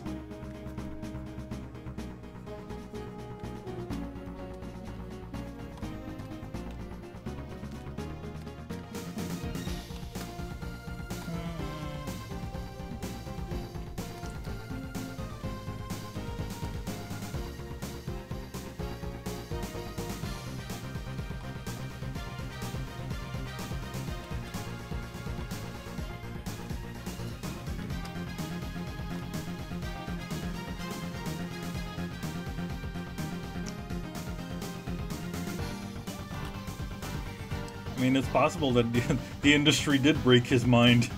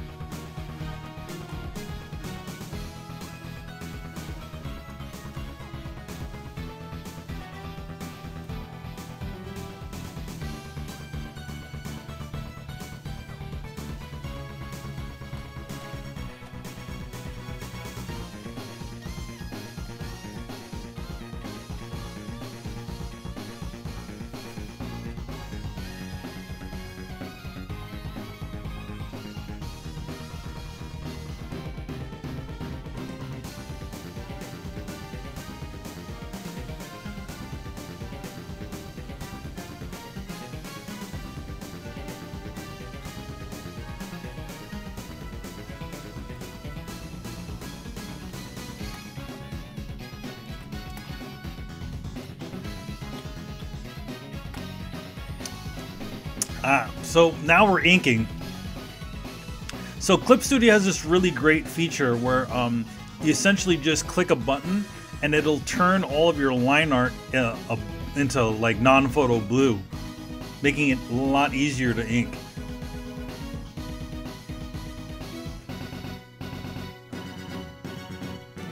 You could actually choose any single color um, that you want it to change to, but it'll instantly change the color to something that uh, you can easily just do and work over.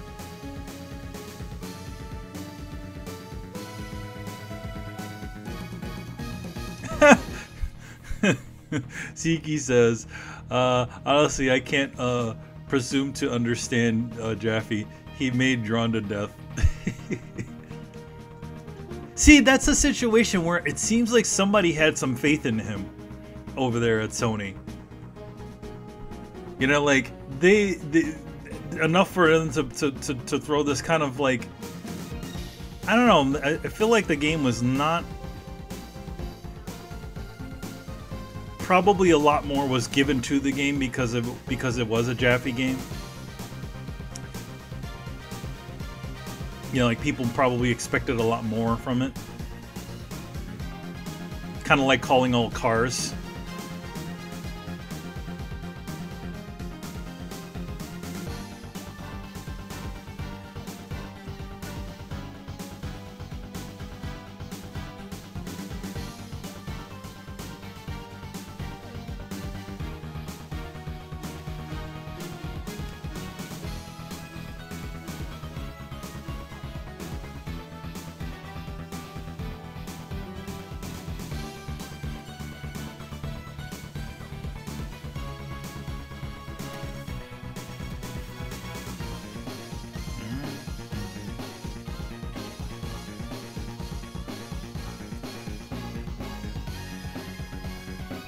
Yeah, with Drawn to Death, I never, I never bothered with that one.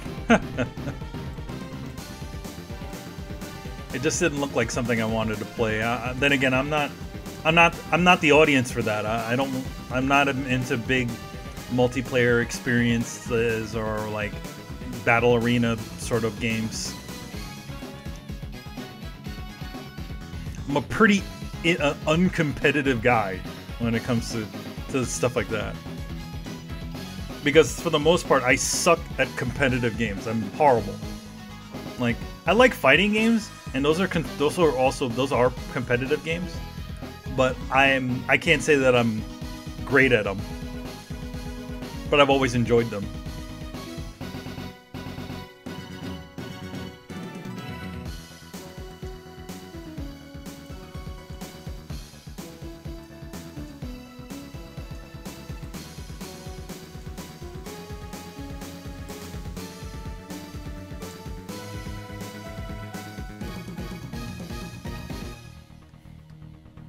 Thing about games that I've, I've, I've, I've, got as I've gotten older, I've kind of yearned for sort of simpler experiences.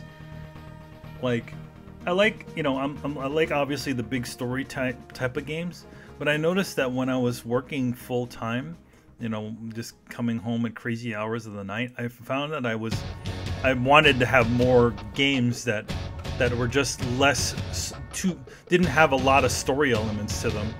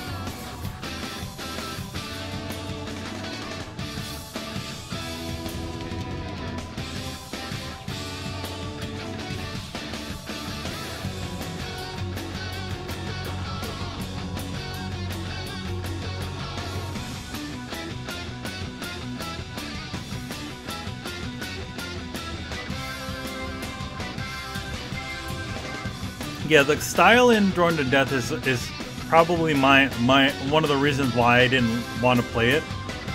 It just it feels like it's trying to be too hard to be punk. You know what I mean?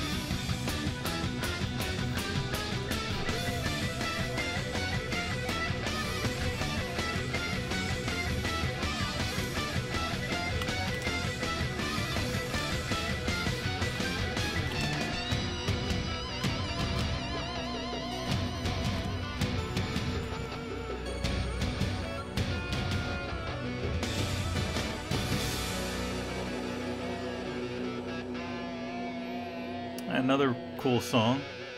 Again, another one of those sorts of uh, from the Konami Battle Beat uh, album.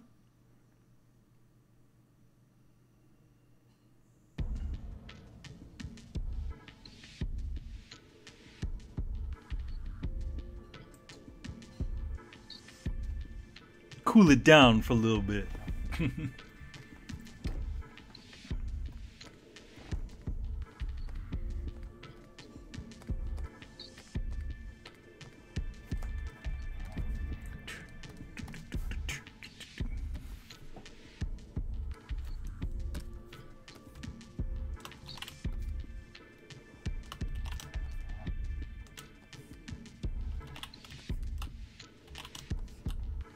So another fun, funky, uh, kind of a fun, uh, funky thing that sort of happened while uh, working, doing the work for this game. Well, not during the work for it. It was like just seeing a lot of the sort of reviews and things that came off of it. There was this one guy. I don't know who it is. He's, I think he's the buddy of the Angry Video Game Nerd, and uh, every so often I kind of frequent their their channel.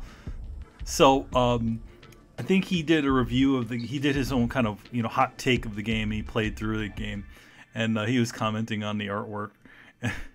I don't understand. I don't even understand the comment he made. He said something like it looked like somebody trying to get uh, an intern. My artwork looked like it was somebody trying to get an internship at Cartoon Network or something like that. I'm like, that doesn't even make any sense. I'm like, I'll take the criticism, but at least try to come up with a, a criticism that means means anything.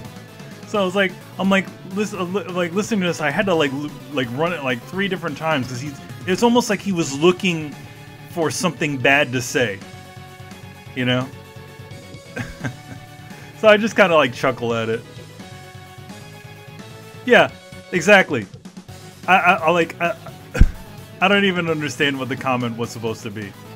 Hey, I get it. The guy didn't like the like the game, but at the same time, it's like if you're gonna criticize something, at least come up with a better criticism, or get your buddy the angry video game nerd to write you better content.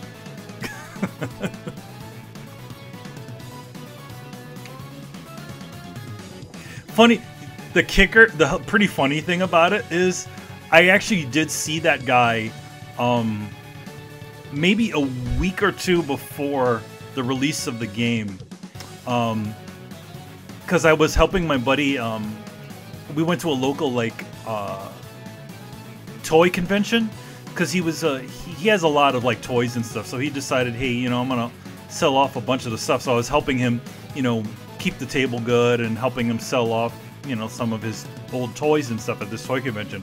And that uh, that guy and Angry Video Gamer and all those his guys are actually all local to Pennsylvania. So I saw all of his his his cronies walking around so that guy actually stopped by my table. Stopped not not by my table, but stopped by our table. And a friend of his was buying one of the um, one of the things my friend had uh, for sale, which is kind of funny.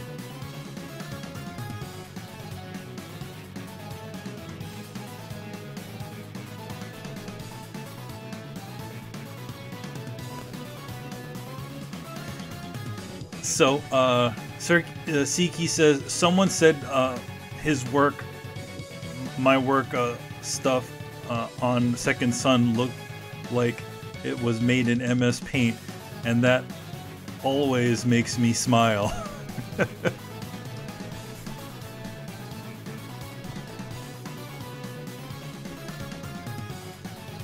Jeez.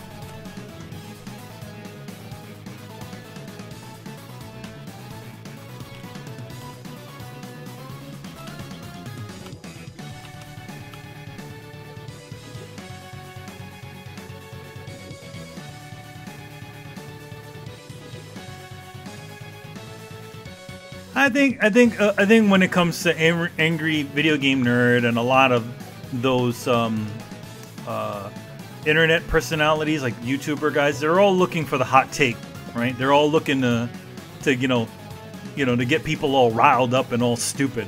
So I know I know what he was doing. It's it's partly obviously his own opinion about the about the game or whatever, but it's also turned up because he's on TV or on YouTube. So I, I know how all that stuff works. So something so something that could be mildly bad is incredibly horrible. You know?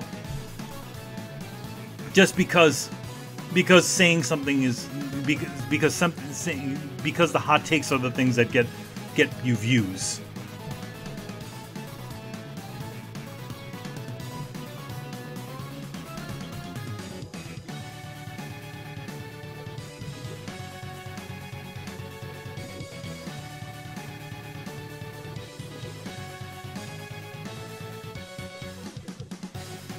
Siki says, it's just like if you have a critique, I'm always open he, uh, to hear hear it, but I do uh, did all the work on the game in four months, and it looks all right.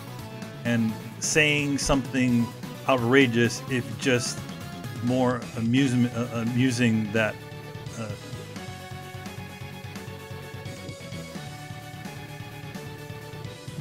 just more amusing that uh, hurtful. Uh, outrageous if it just yeah, dude. I you know, dude. I I know. but I mean, he's like you know the one like the one thing about like I think the one thing about sitting in front of somebody, you know, like and then uh, uh, amusing than hurtful. Yeah, definitely. But I mean, the thing is that like they don't. Nobody knows how much you had to go through to get to that point. You know, they everybody just kind of is commenting on the final product. They didn't know how many uh, how many how many hours uh, you know how many sleepless nights or uh, how much crunch or whatever you did to get to that point you know and to be honest, it's like you know reacting to reacting to something, um, something when it's totally disconnected from the people that it that it's from. I often find that people are more more heavy-handed when they don't think that they're talking about other people. You know, when they when they don't think that the other the other people are actually listening. How much you want to bet that uh, if that if that person was standing right in front of you, or that that, that dude from Angry Video Game Nerd was standing in front of me, right? He would totally walk back every single thing that he had to say, at least some part portion of the things that he had to say about about the work that was in it, because again, it's like they're they're they're just talking about a right exactly. They would he would probably be like, hey, you know, I wasn't too too keen on what the, the artwork that was done on this. You know, maybe this thing could have been improved. I'm like, yeah, I can I can go with I can go with that. You know, but that's why whenever I do like whenever I've this is going to like reviews of people's um, at conventions and stuff. Like you know, me and Kari get folks that come up and they want to get their their work reviewed. I I I try to be um, uh, I try to be light-handed about it, you know, where I'm not because I've seen artists out there that have literally just bashed somebody to bits right in front of them, and I feel like, to be honest, like I don't want if I'm gonna if I'm gonna critique somebody, I don't want them to stop drawing. I don't want them to stop creating. So what can I do to help them get to the to, to keep pushing themselves? You know? And that's that's my my belief on it. I, you don't get anything from bashing people into the ground. To me honest people only do that sort of stuff that they they they want they want to put somebody in their place or they have some sort of problem you know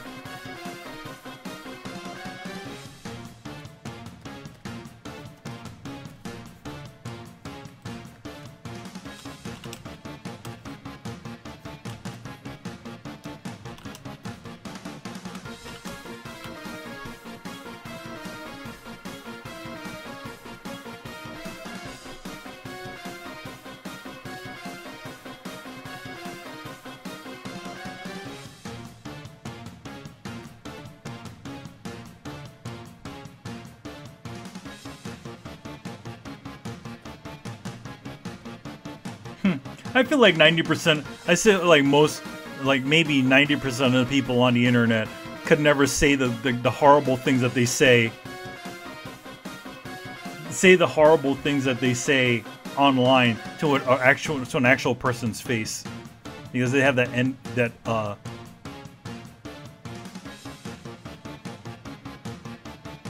Hey, thanks a lot. Glad you liked the track. This track is from uh let's see, let's see what this one. This one's actually from Contra Re uh, Evolution.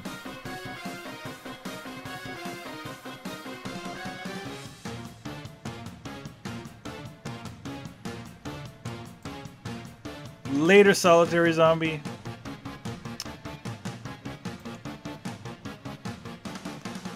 Uh, Siki says, "I love critiques, but there, there's a difference between being mean and being constructive.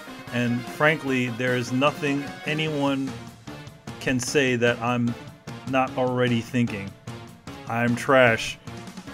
Yeah, I know. I, I, I, yeah, I know, my guy. you are not trash."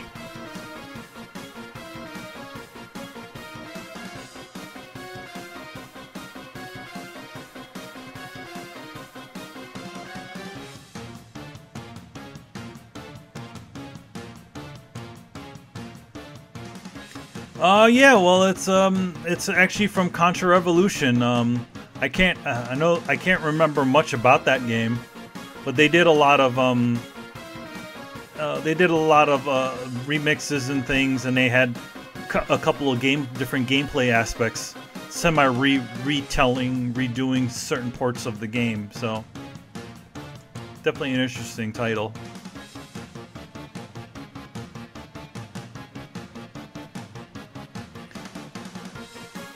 Ryukin says, uh, I understand that some people expected different th uh, things from a, uh, from New Contra, but some of the reactions to the game are unreasonably uh, harsh and uh, dismissive. Um, you know, the the I think the one thing about it is it's it's it's a definitely a hard room to um, to do something new in something that's already been established. And uh, I definitely think that it's it can it you can when you start trying to re, sort re go into those different ideas, and I think a lot of people get when they don't look it doesn't look exactly like their nostalgia, and nostalgia is a big factor in all of it. A lot of times you get those sorts of situations where you have people that are they're just gonna they're gonna be heavy-handed with everything it's just the way it is.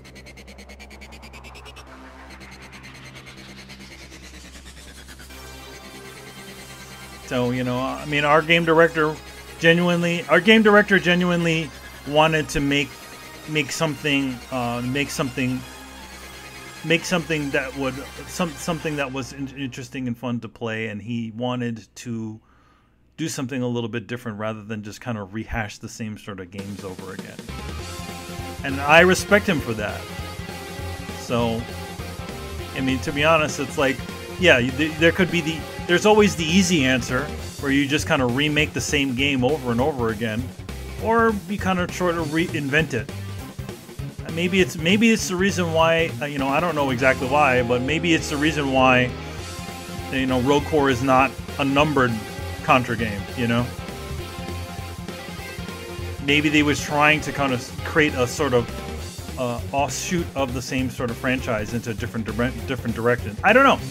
Most of the stuff we don't, you know, being that we're kind of separated, you know, by, you know, him being, you know, Nakazato-san and the and the game team being on the other side of the world, we don't get to hear a lot of the the crooks of of the ideas of what where he was thinking or where he was going to go with it. I mean, us on the motion comic team, we're just sort of we're just adapting his ideas into the sort of into the comic, you know.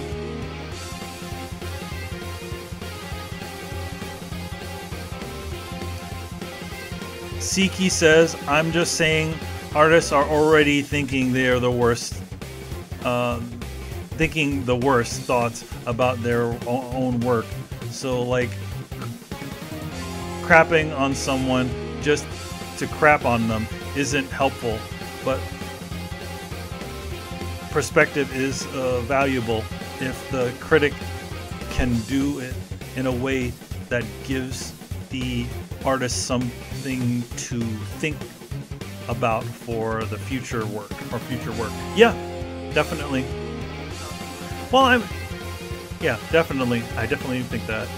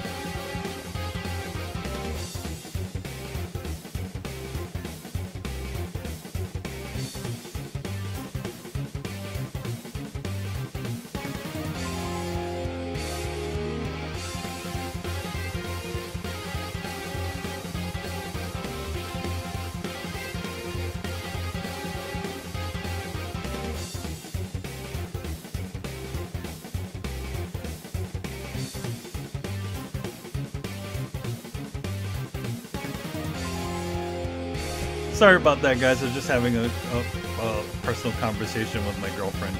She's actually, you, you, you can kind of see her in the back there, working on stuff.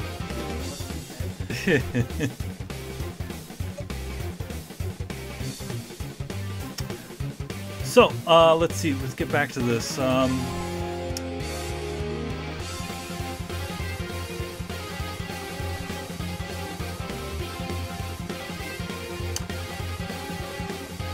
Ryukin says, um, I actually thought Rogue Corps was a sequel to Neo Contra because of the similar camera uh, top down perspective. Um, love Neo Contra has one of the most uh, badass intro cinematics in uh, gaming too. I mean, I don't know. I don't know. I don't know what. I, I'm not you know, I don't know exactly what um, Nakazato-san was actually sort of going for. Uh, I just was like, but I but I knew one but I knew one thing about it. It was like, and the reason why I took it, it was just like took the job. I really, you know, it's it's not every day that you get to work on something that is kind of an iconic franchise like Contra, even if it is so different as the way it is right now. You know, like where it has like different looking characters and and a couple of, of uh, you know kind of a different gameplay. But I, I definitely think that was the one thing that that attracted me to the project. It was like, hey, when is the, they're asking me if I would be cool if it would be down to do to potentially do a new Contra uh, artwork for a new Contra game. That's awesome. No matter how you cut it, you know so that's like so like when I when we first when I first saw the stuff for it, I was like, all right, I'm down. Let's do this. This is this is gonna be a this is gonna be a cool gig, and that's kind of the way I saw it. Oops. Hold on, guys. Let me run that back.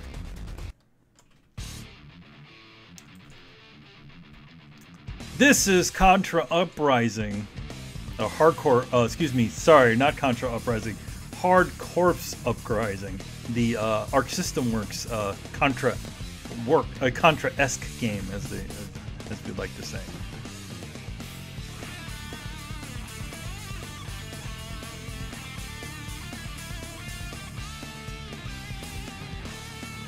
Officially, the officially it is a, it is a Contra. Um, what do they call it? Not a successor. It's, has the spirit of Contra, uh, though it's being produced by um, Konami, and there are a lot of names and characters and that are very similar to the Contra franchise. In fact, while you hear the soundtrack, there's going to be some very familiar Contra songs uh, I mean, officially, this game is not considered part of the canon of Contra, which is, which is from the horse's mouth himself, Nakazato-san, and uh, and some of my my friends, you know, some of my coworkers, uh, friends and coworkers at the Konami, where that's like, yeah, this is, it's not officially part of it, but it kind, it is.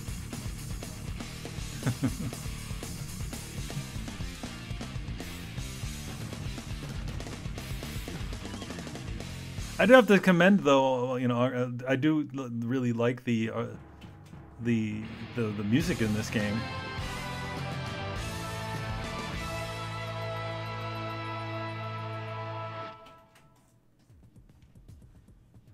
See, you just heard the, the iconic Contra song right there.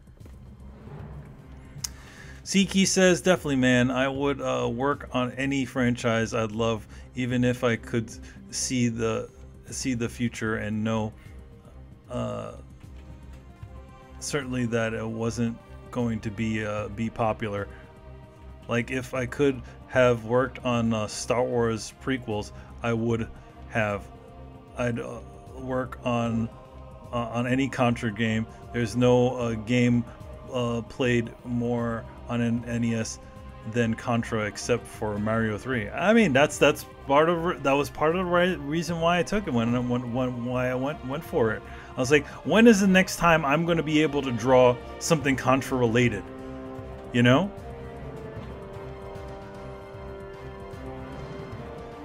When is when when I, when would I ever be able to do anything like that? Probably never. And to be honest, the great the, the really awesome thing about it was that like like you know a month or two after we we finished actually doing the um, artwork for the for the for the in for the actual game they literally we they, they, you know they literally you know came up and they're like yep we're going to be working on some new things. We're going to doing doing some three, three um, mini comics which you know connect the the two the you know the older games to the newer games. And you're to get to draw bill and lance i'm like that's awesome because to be honest i was like I was perfectly fine with just like not, you know, I'm like okay, this is Contra now. It's these guys with the with the drills and the, and the, the samurai swords and all that stuff. I'm like, all right, that's cool. These guys are fun. But then when they said, I was like, then later, I'm like, I didn't expect uh, to be ever drawing Bill and Lance or be drawing a lot of those cool, iconic Contra-esque moments. Hell, if they asked me to do a Metal Gear game, I would do it. Doesn't matter. I mean, when again, when is the next time I'll be able to do something like that?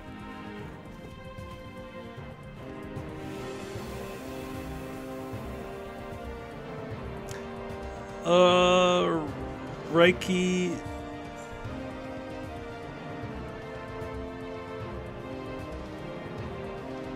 Reiki Ken S says there was a Konami code during loading screen of the first level uh, to make the game uh, play actual uh, play actual Contra theme remixed.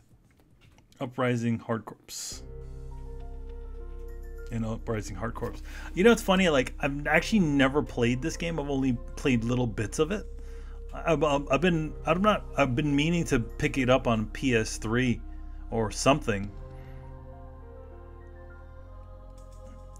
because I think I'd, uh, I think I'd, uh, I would, uh, and, and, I think it, you know, would be a nice breath of fresh air from all the kind of heavy duty like 50,000 hour sorts of games that come out nowadays. Have you ever guys realized like like felt like like I don't know. This is a weird sort of compl- not a complaint, but it's like a weird sort of thing. It's like you ever notice how like games are just so damn long now.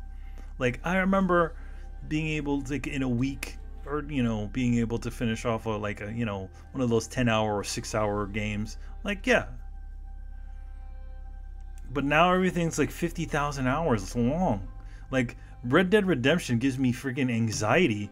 The second one because there's just so much to do in the game. I'm like ugh.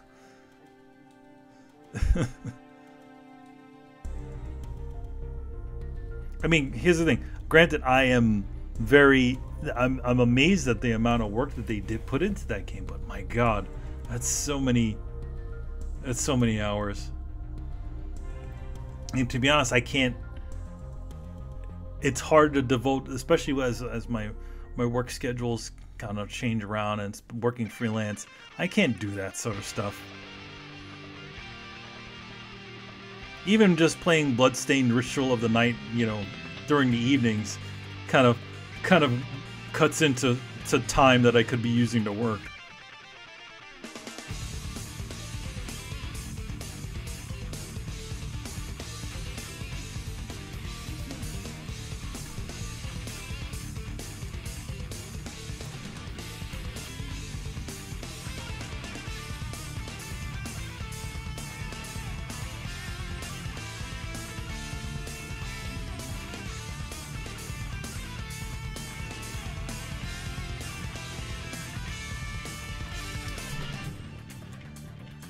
Mr. Kona so- Sony says, I usually don't listen to what the journalists uh, have to say about games. I prefer to play um, it for myself and hopefully like it. It's funny, um, like, there's only a, for me, there's only a certain batch of game uh, journalists in general that I kind of sort of specifically go out of my way to read. Uh, this is nothing on any of the game journalists that are in the industry, but I, I just don't. I just don't kind of. Uh, I just kind of. I'm a little bit like that, where I like to kind of make my own decisions, but I also like to hear other people's opinions on it, especially if it's some journalist that I trust. You know that I that I know that they're the things that they like co- sort of correlate with the things that I sort of like. It's kind of like having a I don't know. Like I, I think of it like the old days where you used to pick up video game magazines, right? And you had a favorite game game writer. Like, hey, I, I really like the way Sushi X does things, right? You know, if you back in the EGM days.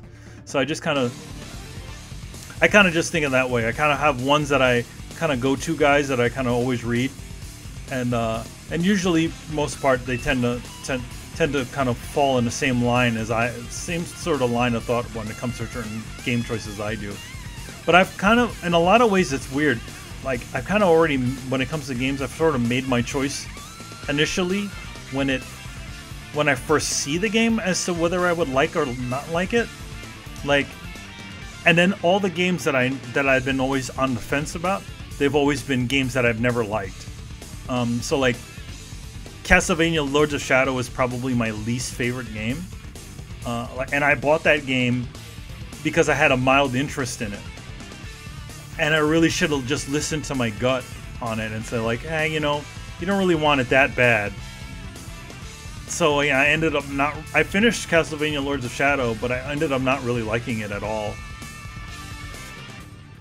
It felt like um, one of the one of the worst things that could ever happen that can happen to you during a game is something becomes a chore.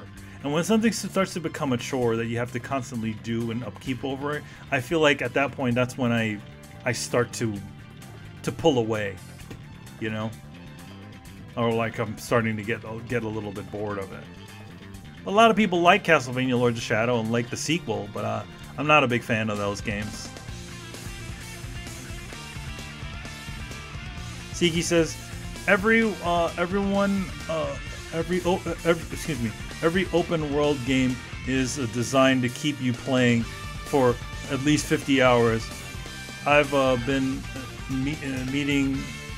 Uh, I've been in a meeting meetings where the studio heads are pointing at uh, graphs saying, "This is what uh, gamers expect now." It's hot garbage. See, that's some ins- that's some inside stuff right there, man. But I mean, to be honest, it makes perfect sense to me. I mean, a lot of a lot of industries is, is controlled by uh, big graphs and stuff like that. People thinking that they know what they what people want and stuff like that. I oh, see, there we go. Um, I personally, you know, I, I can't. I, I don't know why. I, I'm, I'm I don't know why people, you know, some they're so against having smaller experiences too or having those one of those six hours experiences. I sort of miss them. In fact, like um, like after playing Kingdom Hearts for 50 billion hours, right? And I got the platinum trophy in that one. I literally had to go for a palate cleanser. So you know what I you know what I did?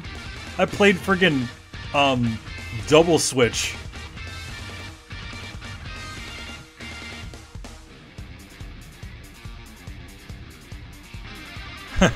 I played Double Switch, was essentially a re-release of that game from the from the Sega CD.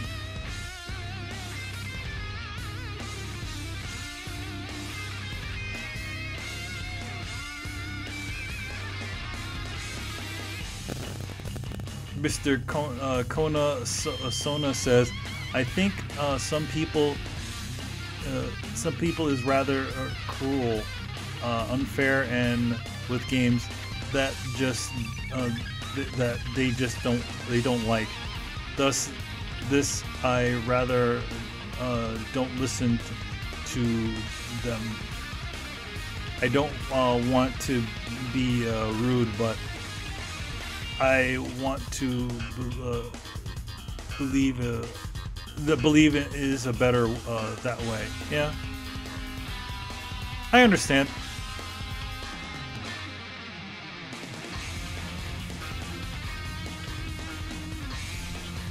Yeah, I guess yeah. This is the one of the Konami code tracks, right?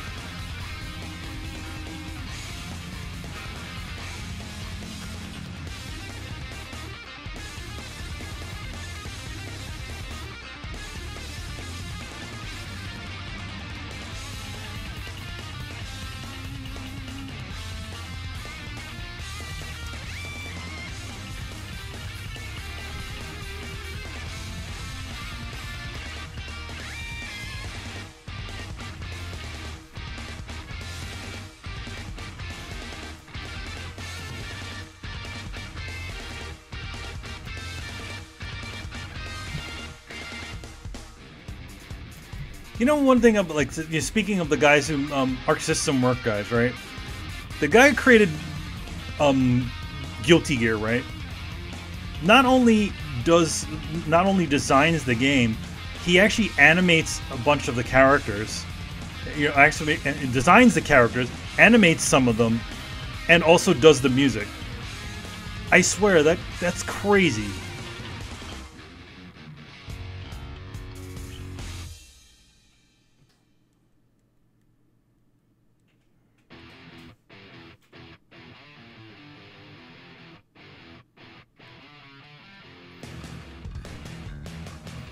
Yeah, I definitely think that like when it comes to sort of reviews, it's it's more about it's a lot about those sort of hot takes.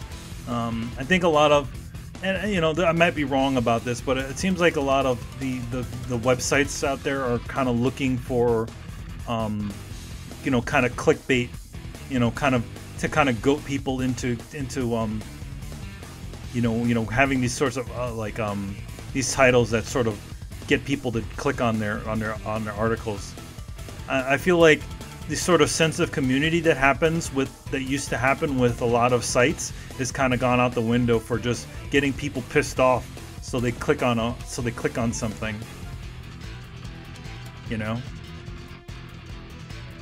like i mean like again i like i miss i kind of miss the video the video game magazine days because they always you always felt like you were part of something, you know? Even though you were just a person buying it, there was always that sort of like, okay, you're part, you're you're a part of the a part of a community of some sort, you know.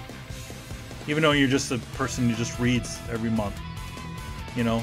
A lot of the a lot of the old magazines used to get original artwork done for them, and a lot of them used to put out all kinds of little fun little things that were just specifically for them, you know, and the people that like their magazines. You know, I kind of miss that sort of stuff where, like, you know, why can't a website be something like that?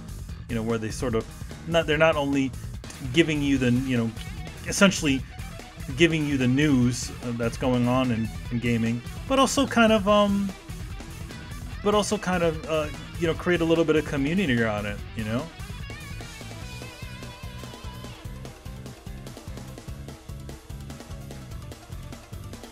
Yeah, I haven't I haven't actually played um I haven't played Uprising yet.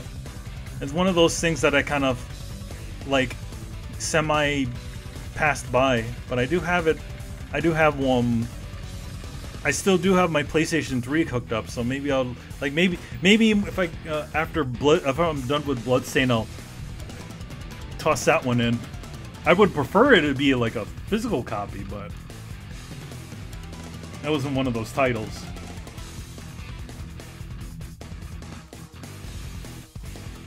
Or was it? I don't remember.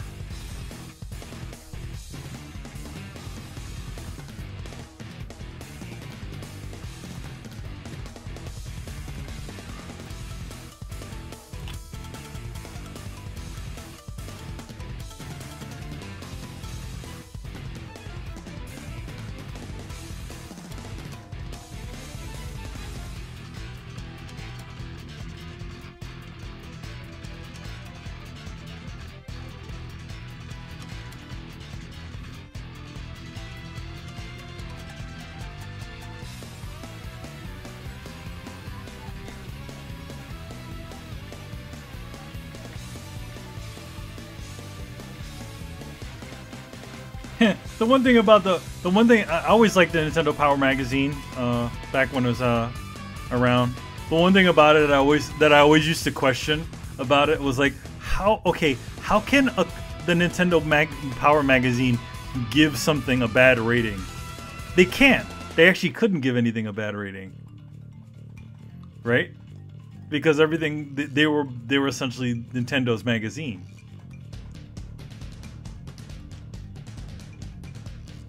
But I did like one thing I did like about again, like going back to what I was saying, they at least with Nintendo Power, they were kind of sort of creating a, a semi community. They had original artwork that were created. They had little comics. They had characters that were only specific to their to their thing, to their um to their magazine, like Nestor and you know all those characters. They had commission comics, like comics to be made for it, like the Zelda comic that would appear inside of it. Like really cool like things to kind of like I'd love to see a video game website do that.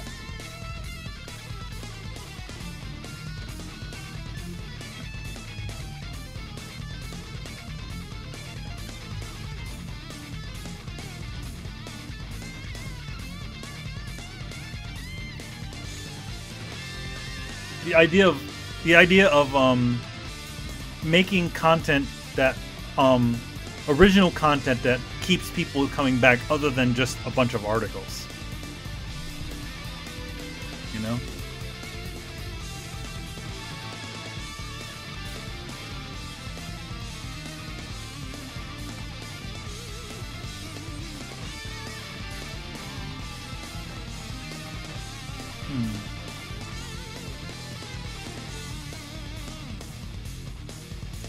I used to, for me, uh, when I was younger, I used to pick up um, Nintendo Power, but then eventually I kind of let that one lapse, and then I would just pick up video magazine, video game magazines at the at the one of the local like bodegas or um, uh, you know just like a bookstore or something.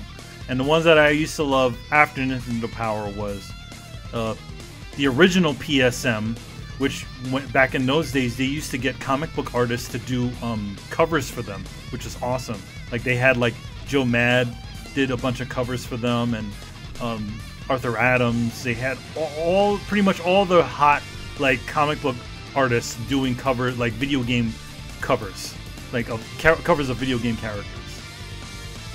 Then there was uh, video games. I used to like that one. Um, Game Fan was also another one that I really liked. Uh, EGM and EGM 2. so great that you had to have a sequel. Uh, and and then I would occasionally pick up Games Players. I didn't like Game Pro though. And it's mostly an art reason. I didn't like the artist that was drawing the covers. They used to draw the unique covers for that magazine. They're just I just didn't like them. Who is my favorite Contra Rogue Corps member to draw? Um, probably Hungry Beast because he's a giant panda. just, just that. He's just, I just, I've always, I said this from the beginning. He's just so out there. It's like, hey, let's put a panda in there. All right. He's the fun. He's the funnest one, and he's also the one that you don't need to be too. You can be a little bit off. Like, if you ever look at the way I drew drew Hungry Beast, he doesn't exactly look like a panda. I kind of drew him like a as big as a what do they call it? Not a panda. What is it? Like he's he's almost like a grizzly panda. At least the way I drew him. Because pandas are a lot smaller, so I kind of drew him like big and hulking, and that was the fun part of him drawing him. His hand was a hard to, insanely hard to draw though. He's got this big robotic arm, and um, like he has this giant um, thing. But he's probably the one that you didn't. You could eat, draw a little bit off model, and it would still look okay. Um, Kaiser, he has a lot of tech and stuff on him, like his whole shoulder and his arm and all that stuff, and just his the way his hair is. I try to get at that. Harakiri, I don't. I, I feel like I didn't draw her as much as I would have liked to. But then she also has cybernetic elements on her too. She's got that robotic leg and um, she has that um, alien in her alien parasite in her belly. But yeah, I feel like I didn't draw her as much as I would have liked.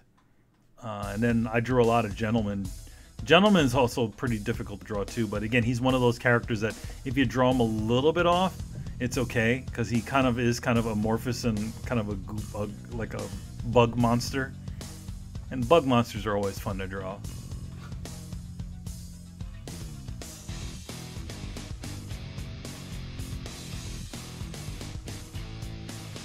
So, couple of couple of fun fun things. So in uh, on my Twitter, I, I mentioned that um, there are Easter eggs in uh, like there uh, there are Contra Easter eggs in Contra Rogue Corps from other Contra game from con- from the previous Contra game. And there's also a bunch of like Konami ones in there that I kind of worked in, and there's at least more than one Metal Gear one in there. Um, there is uh, there's a little tribute to Pro Protector if you look around, uh, I, I, worked on a couple of Pro Protectors for our friends out in uh, in Europe. Uh, there is uh, there is uh, the VTOL or the the ship that um that uh, Lily drives. On there is kind of a big fun Konami Easter egg on on the side of it.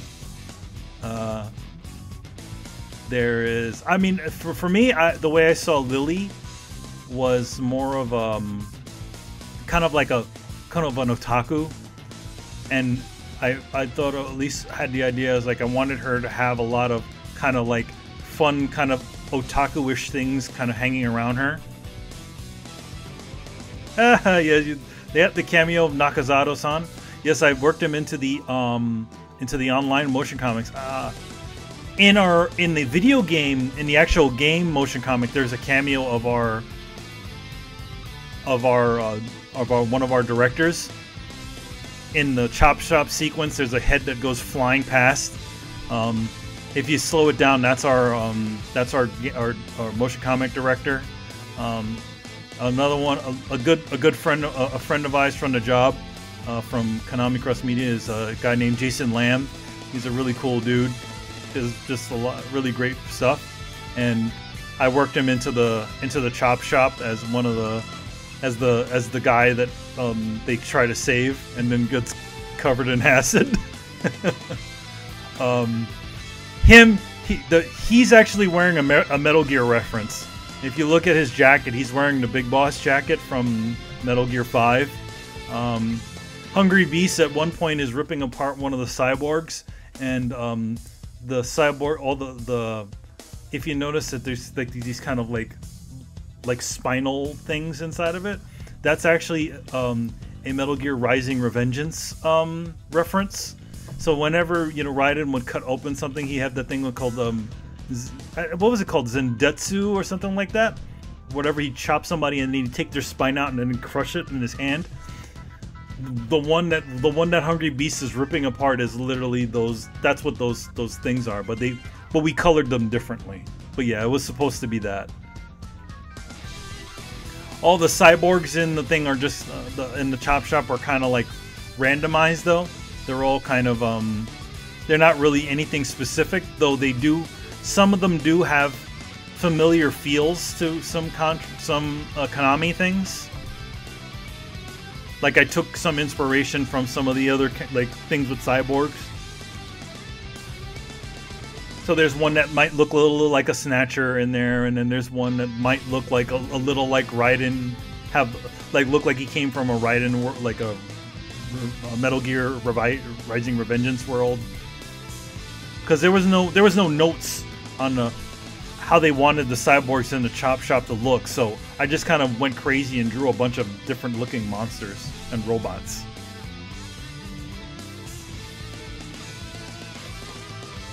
But for Lily, but for Lily, I I wanted her to be sort of like an otaku, and I wanted um, at least to decorate the VTOL with a lot of sort of obscure Konami franchises, like anime things and stuff. So in one shot, I there's a shot that I posted, which was uh, of Lily and like driving the VTOL or driving the, the, the guillotine, and um, there's like a, a bunch of charms that are hanging off of it, and one of them was like a love plus one, and then one of them was the was a Fang from the from Contra Hard Corps, but uh, we we um but we they just eventually removed them. But I was like, my idea was like, if we're gonna be doing, if we're gonna put work little references for people, we should also not we should also not be afraid of doing references that only Japan would know or references that only Europe would know. To kind of be like, because we're all sort of, at least, you know, people all playing it, we're all seeing it. There's no real separation as to, as far as like localization and things. When a game comes out, most of the time when a game comes out in, you know, a big franchise game like Contra comes out in Japan or in the United States or in Europe, it comes out and it comes out for everybody, right? So my idea was like, okay, let's work in things that only Japan would know and things that only Europe would know. You know, I wanted to get a mystical ninja reference in there too. Uh, but I, I just could, you know, it also it also depends on time and it also depends on um, a lot of times when you do these sorts of things, you also have to kind of get them approved by um, by the parent company, by Konami. So anytime any of these things they had to they, they showed up, I threw them in. They're like they'd be like, "Hey, what is this? Is this anything that we?" I'm like, "Well, it's this." And they're like, "Oh, okay, yeah, that's fine." But they kind of gave us free, as far as the motion comics, they kind of gave us free reign to toss in as many little Konami references as we could, if we can get them in.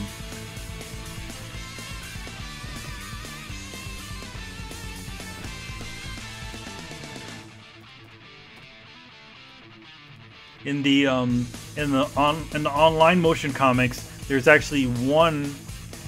Um, there's a there's a snatcher reference as soon as that one starts up.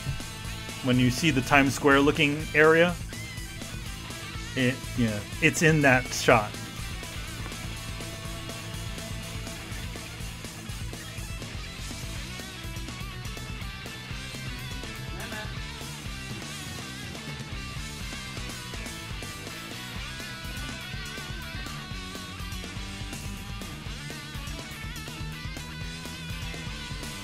I want to be like, man, this sounds like Guilty Gear. Oh wait, it is Guilty Gear. At least made by the guys who did the music for Guilty Gear.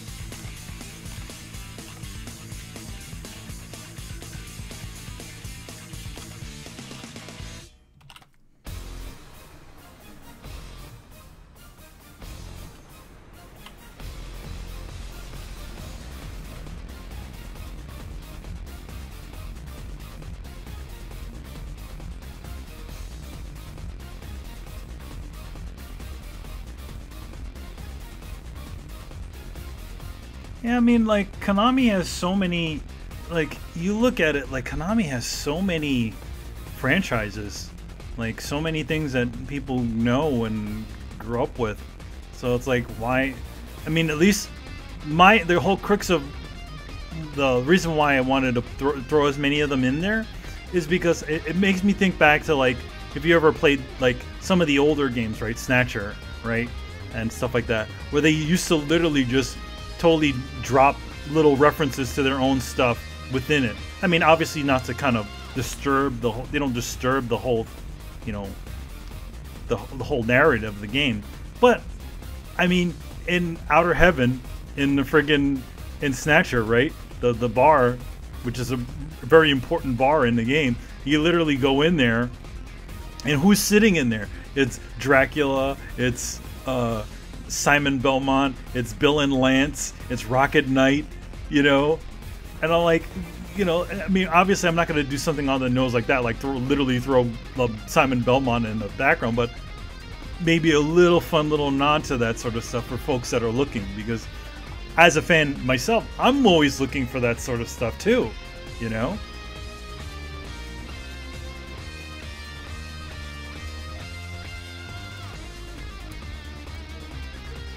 It's something I used to, even when I worked on like Ninja Turtles, like when I worked on the Ninja Turtles cartoon, it's something I used to do.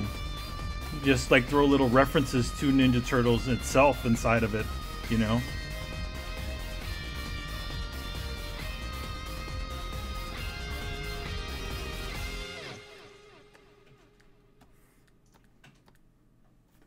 because I definitely think that like a lot of fans are always there. Not every some are just playing it, and some are just like you just find those fun little things, and if you get it, it's like oh, and it's like it's like fun little nod. That's how I always saw it. What what are you doing? What are you up to, cats?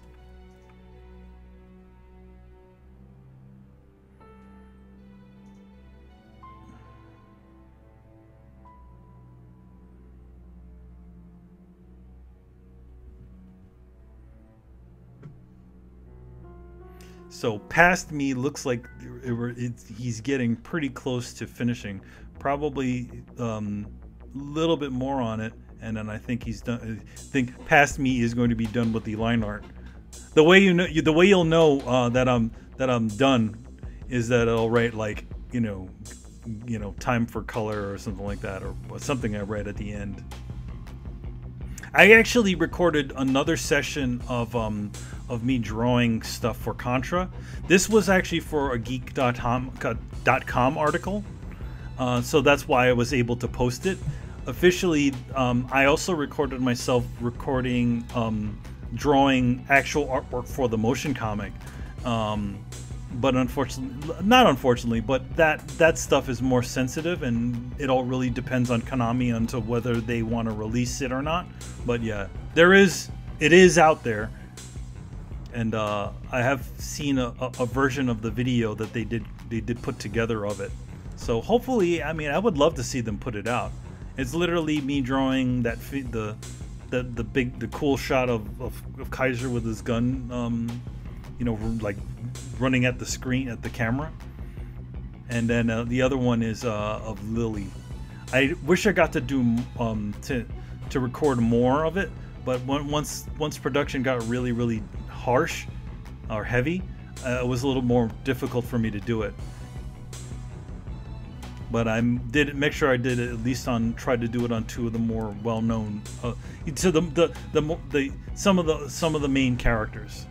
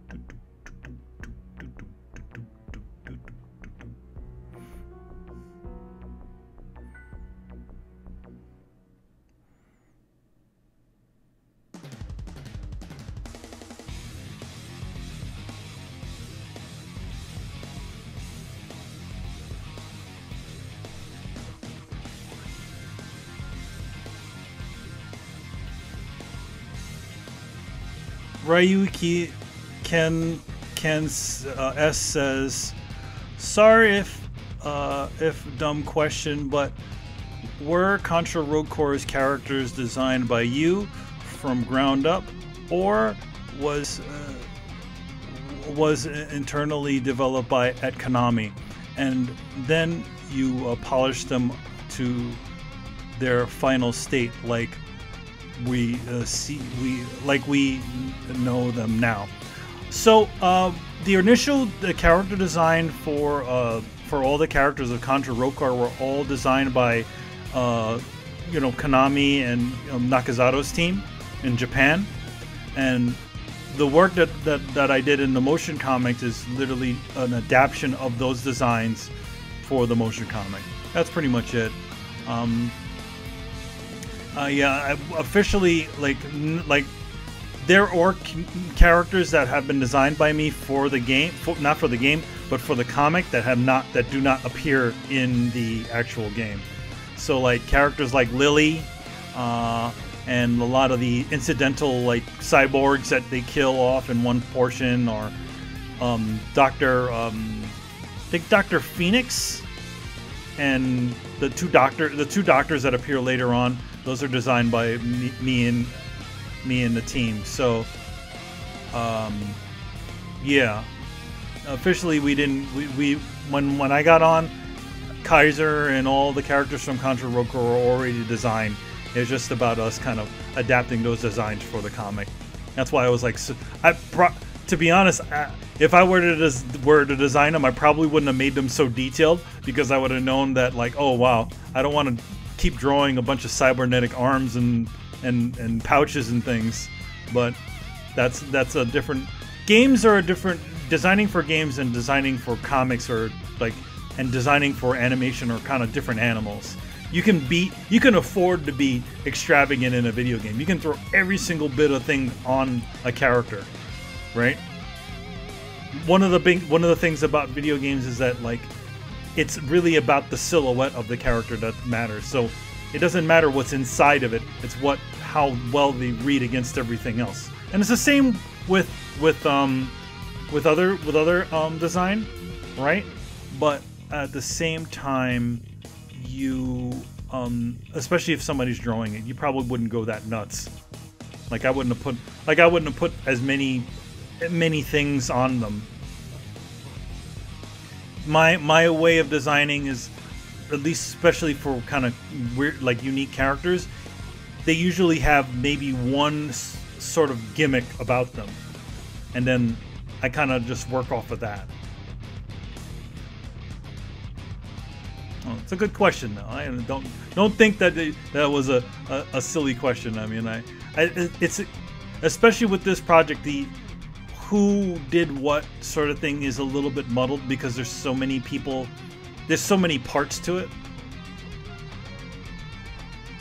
Like I cannot, I you know, I can't, I can't claim credit for the whole motion comic because it was me, it was, and it was a, a, a, few other guys, a, a few other guys, you know. So at least when I was trying to do promotion, I was trying to let people know, like, no, no, no, I'm not the only guy on this thing. Granted, mine was the work that was that was that set everything off, and that's the thing that they approved. But just the way time constraints went, we ended up having to have more people on board to do it. By the way, motion comics are hard.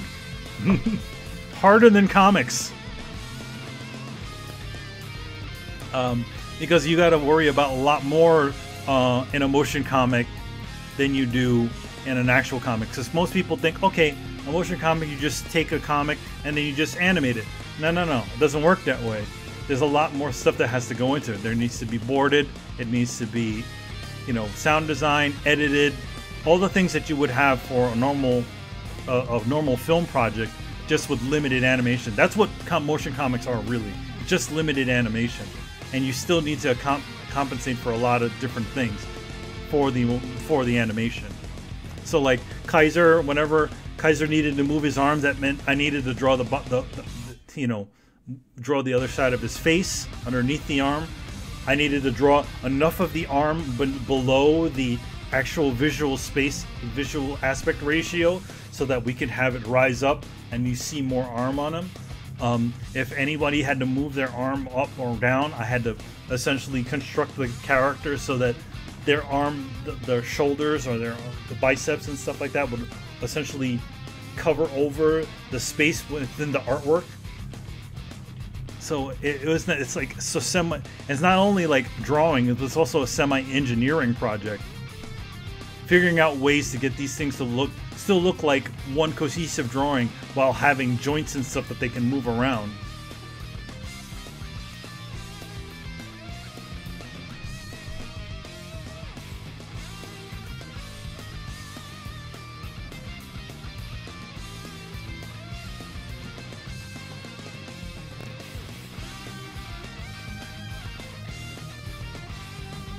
Um. Uh, Ryu Kiken S. I keep screwing up your name. Sorry about that. Um. Oh, I wanted to to to ask if you could uh, say anything about any uh, much different earlier versions of them, but I guess uh, only Konami team uh, seen them during early development. There is one early development thing that I probably cannot say anything about. Uh, so I'm probably gonna, you know, omit that thing. But uh, yeah, like officially, as far as the early designs have, they're pretty much like at least when we got on the project, they, everything everything was we already had concept designs for every single character, every single monster and environment that appear in the game. The only difference is like the artwork. Kaiser had changed a bit since the initial design, um, since the artwork. Harakiri went through a lot of design changes, even while we were drawing the motion comic. Um, she got, uh, you know, her face was, a, uh, when we originally started, her face was a little bit longer, but then they kind of revised her and they gave her a little bit of a tan. So we had to actually change the artwork in the motion comic to fit that. So, but other than that, um, Gentleman pretty much from I don't remember seeing any uh, early versions of him, but beyond the ones that I saw. Oh well, for Gentleman there were some. He used to have um, like funky tattoos all over him. Not tattoos, but like little, like I don't know, decals or tattoos or whatever he had on him. And one of them was removed because it was essentially a, essentially it was a copyright infringement so they couldn't have it. But before, um, before, but this is before it even got put out. Um, Gentleman used to have um, a live long and prosper um, thing on his belly. underneath the underneath the straps, he would have he had it there, and that that's one of the things that got removed. And it actually did say "live long and prosper" on it. But yeah, I think that's one of the ones that got removed. And uh, there's a couple, maybe other things, but yeah.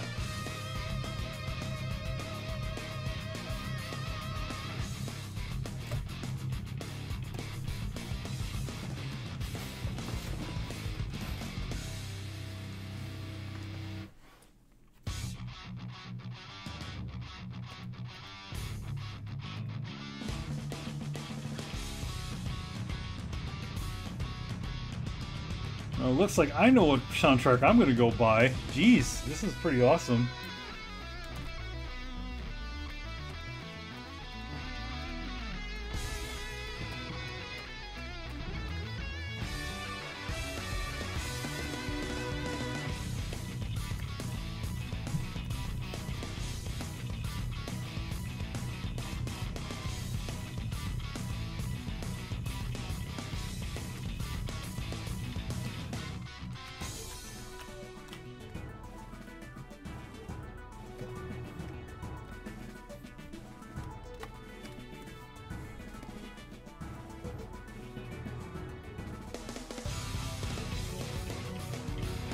Yeah, it looks like I'm getting close here.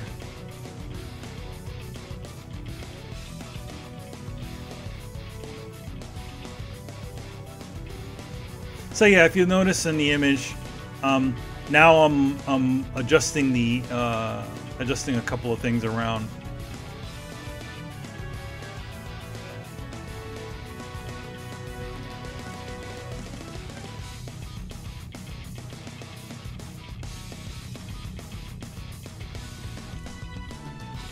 Yeah, but under normal circumstances, if this was something that was going to be for the actual motion comic, I would have probably drawn more of his shoulder and more of his chest down further so that we could so again so they could do like a maybe camera shake on it or again that big hand that was there they probably would have you know come up.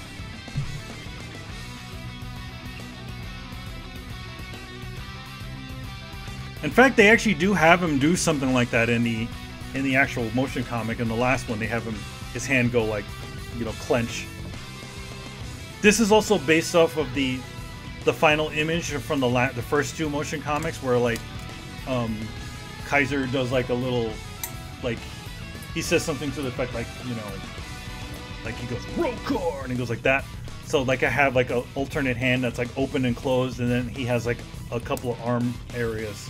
So that's what this image is supposed to sort of be. It's supposed to be like, you know, that same shot where he's like doing like that. Or we're going like this.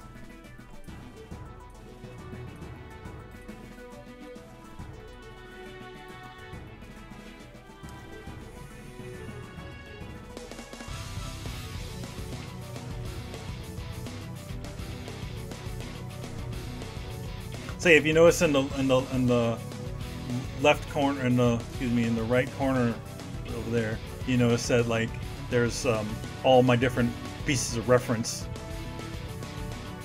and you can see a little bit of the Kaiser, the the Kaiser drawing from the the one that I was talking to you about that goes like that. You know, so he's got a big hole in his arm on the side there. That's where um that's where his alternate arm that's where the back of his the other part of his arm would be. And then in front of it would sit the the, the big robotic arm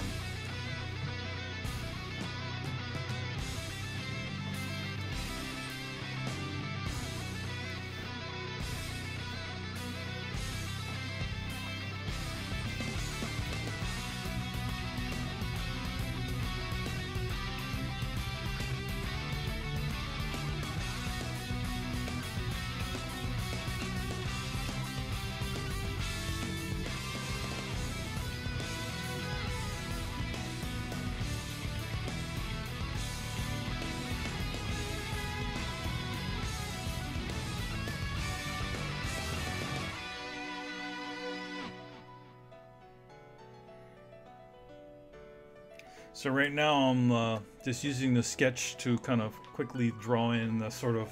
I had this idea where I like I really like the idea it like. This doesn't actually happen in the game, but like when he char like him charging up and it kind of like. Like in you know like in some anime where somebody charges up their hand, you charge up they charge up something and then you see this kind of like energy that almost comes from the air and kind of comes into their their hand or whatever their power that they're doing. Like you know, like Ryu where he does like the fireball, and then you see like energy just kind of coming into it. So that's kind of what I'm doing there with the with the the red lines, which are eventually going to be colored like yellow or something like because the power that he uses. And that's my idea. He's kind of like charging. He's like has his hand. He's like charging it up to, and then he's gonna.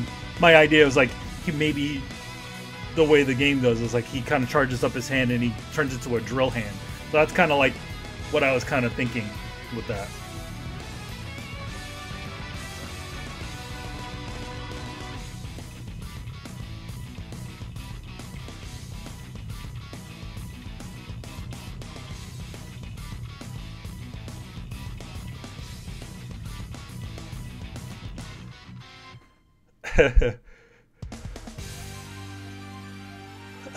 so fun story about Kaiser. So his voice actor, um, um, he's a kind of a, a regular at um, at at, at um, Konami Cross Media. He does um, stuff for like Yu-Gi-Oh and he does a, com- a couple of other voices, right?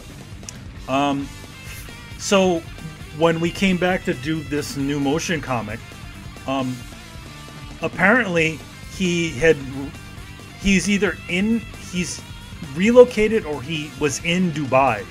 So we're literally trying to get him to you know we you know have him set up to record and he literally we had this our company had this the company had to go and set up time in Dubai for him to to uh, to do voice work for these motion comics which is crazy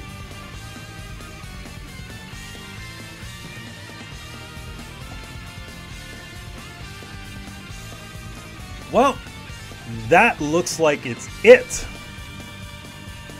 The inking is done on this. Um, guys, thanks a lot for joining me. Uh, it was really great that you you know came you came by and kind of hung out with me while I do this. I drew a little drill for you guys there, by the way. and yeah, by the way, you know, come back tomorrow and we're going to be doing some color which is going to be pretty awesome.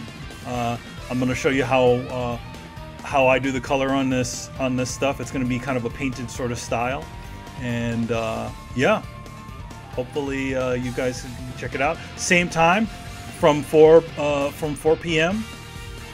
Uh, until um, whenever. And thanks a lot. I'll just you know I'll just let the video run out here and so yeah so don't forget to like and subscribe. Head over to our Twitter, which is Throwdown Show. Head over to my Twitter, which is at Land, which you see on the screen or seen on the screen.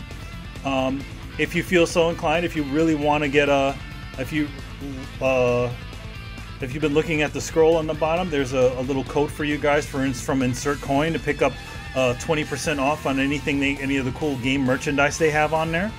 Uh, and yeah, I hope to see you tomorrow. Thanks a lot, guys.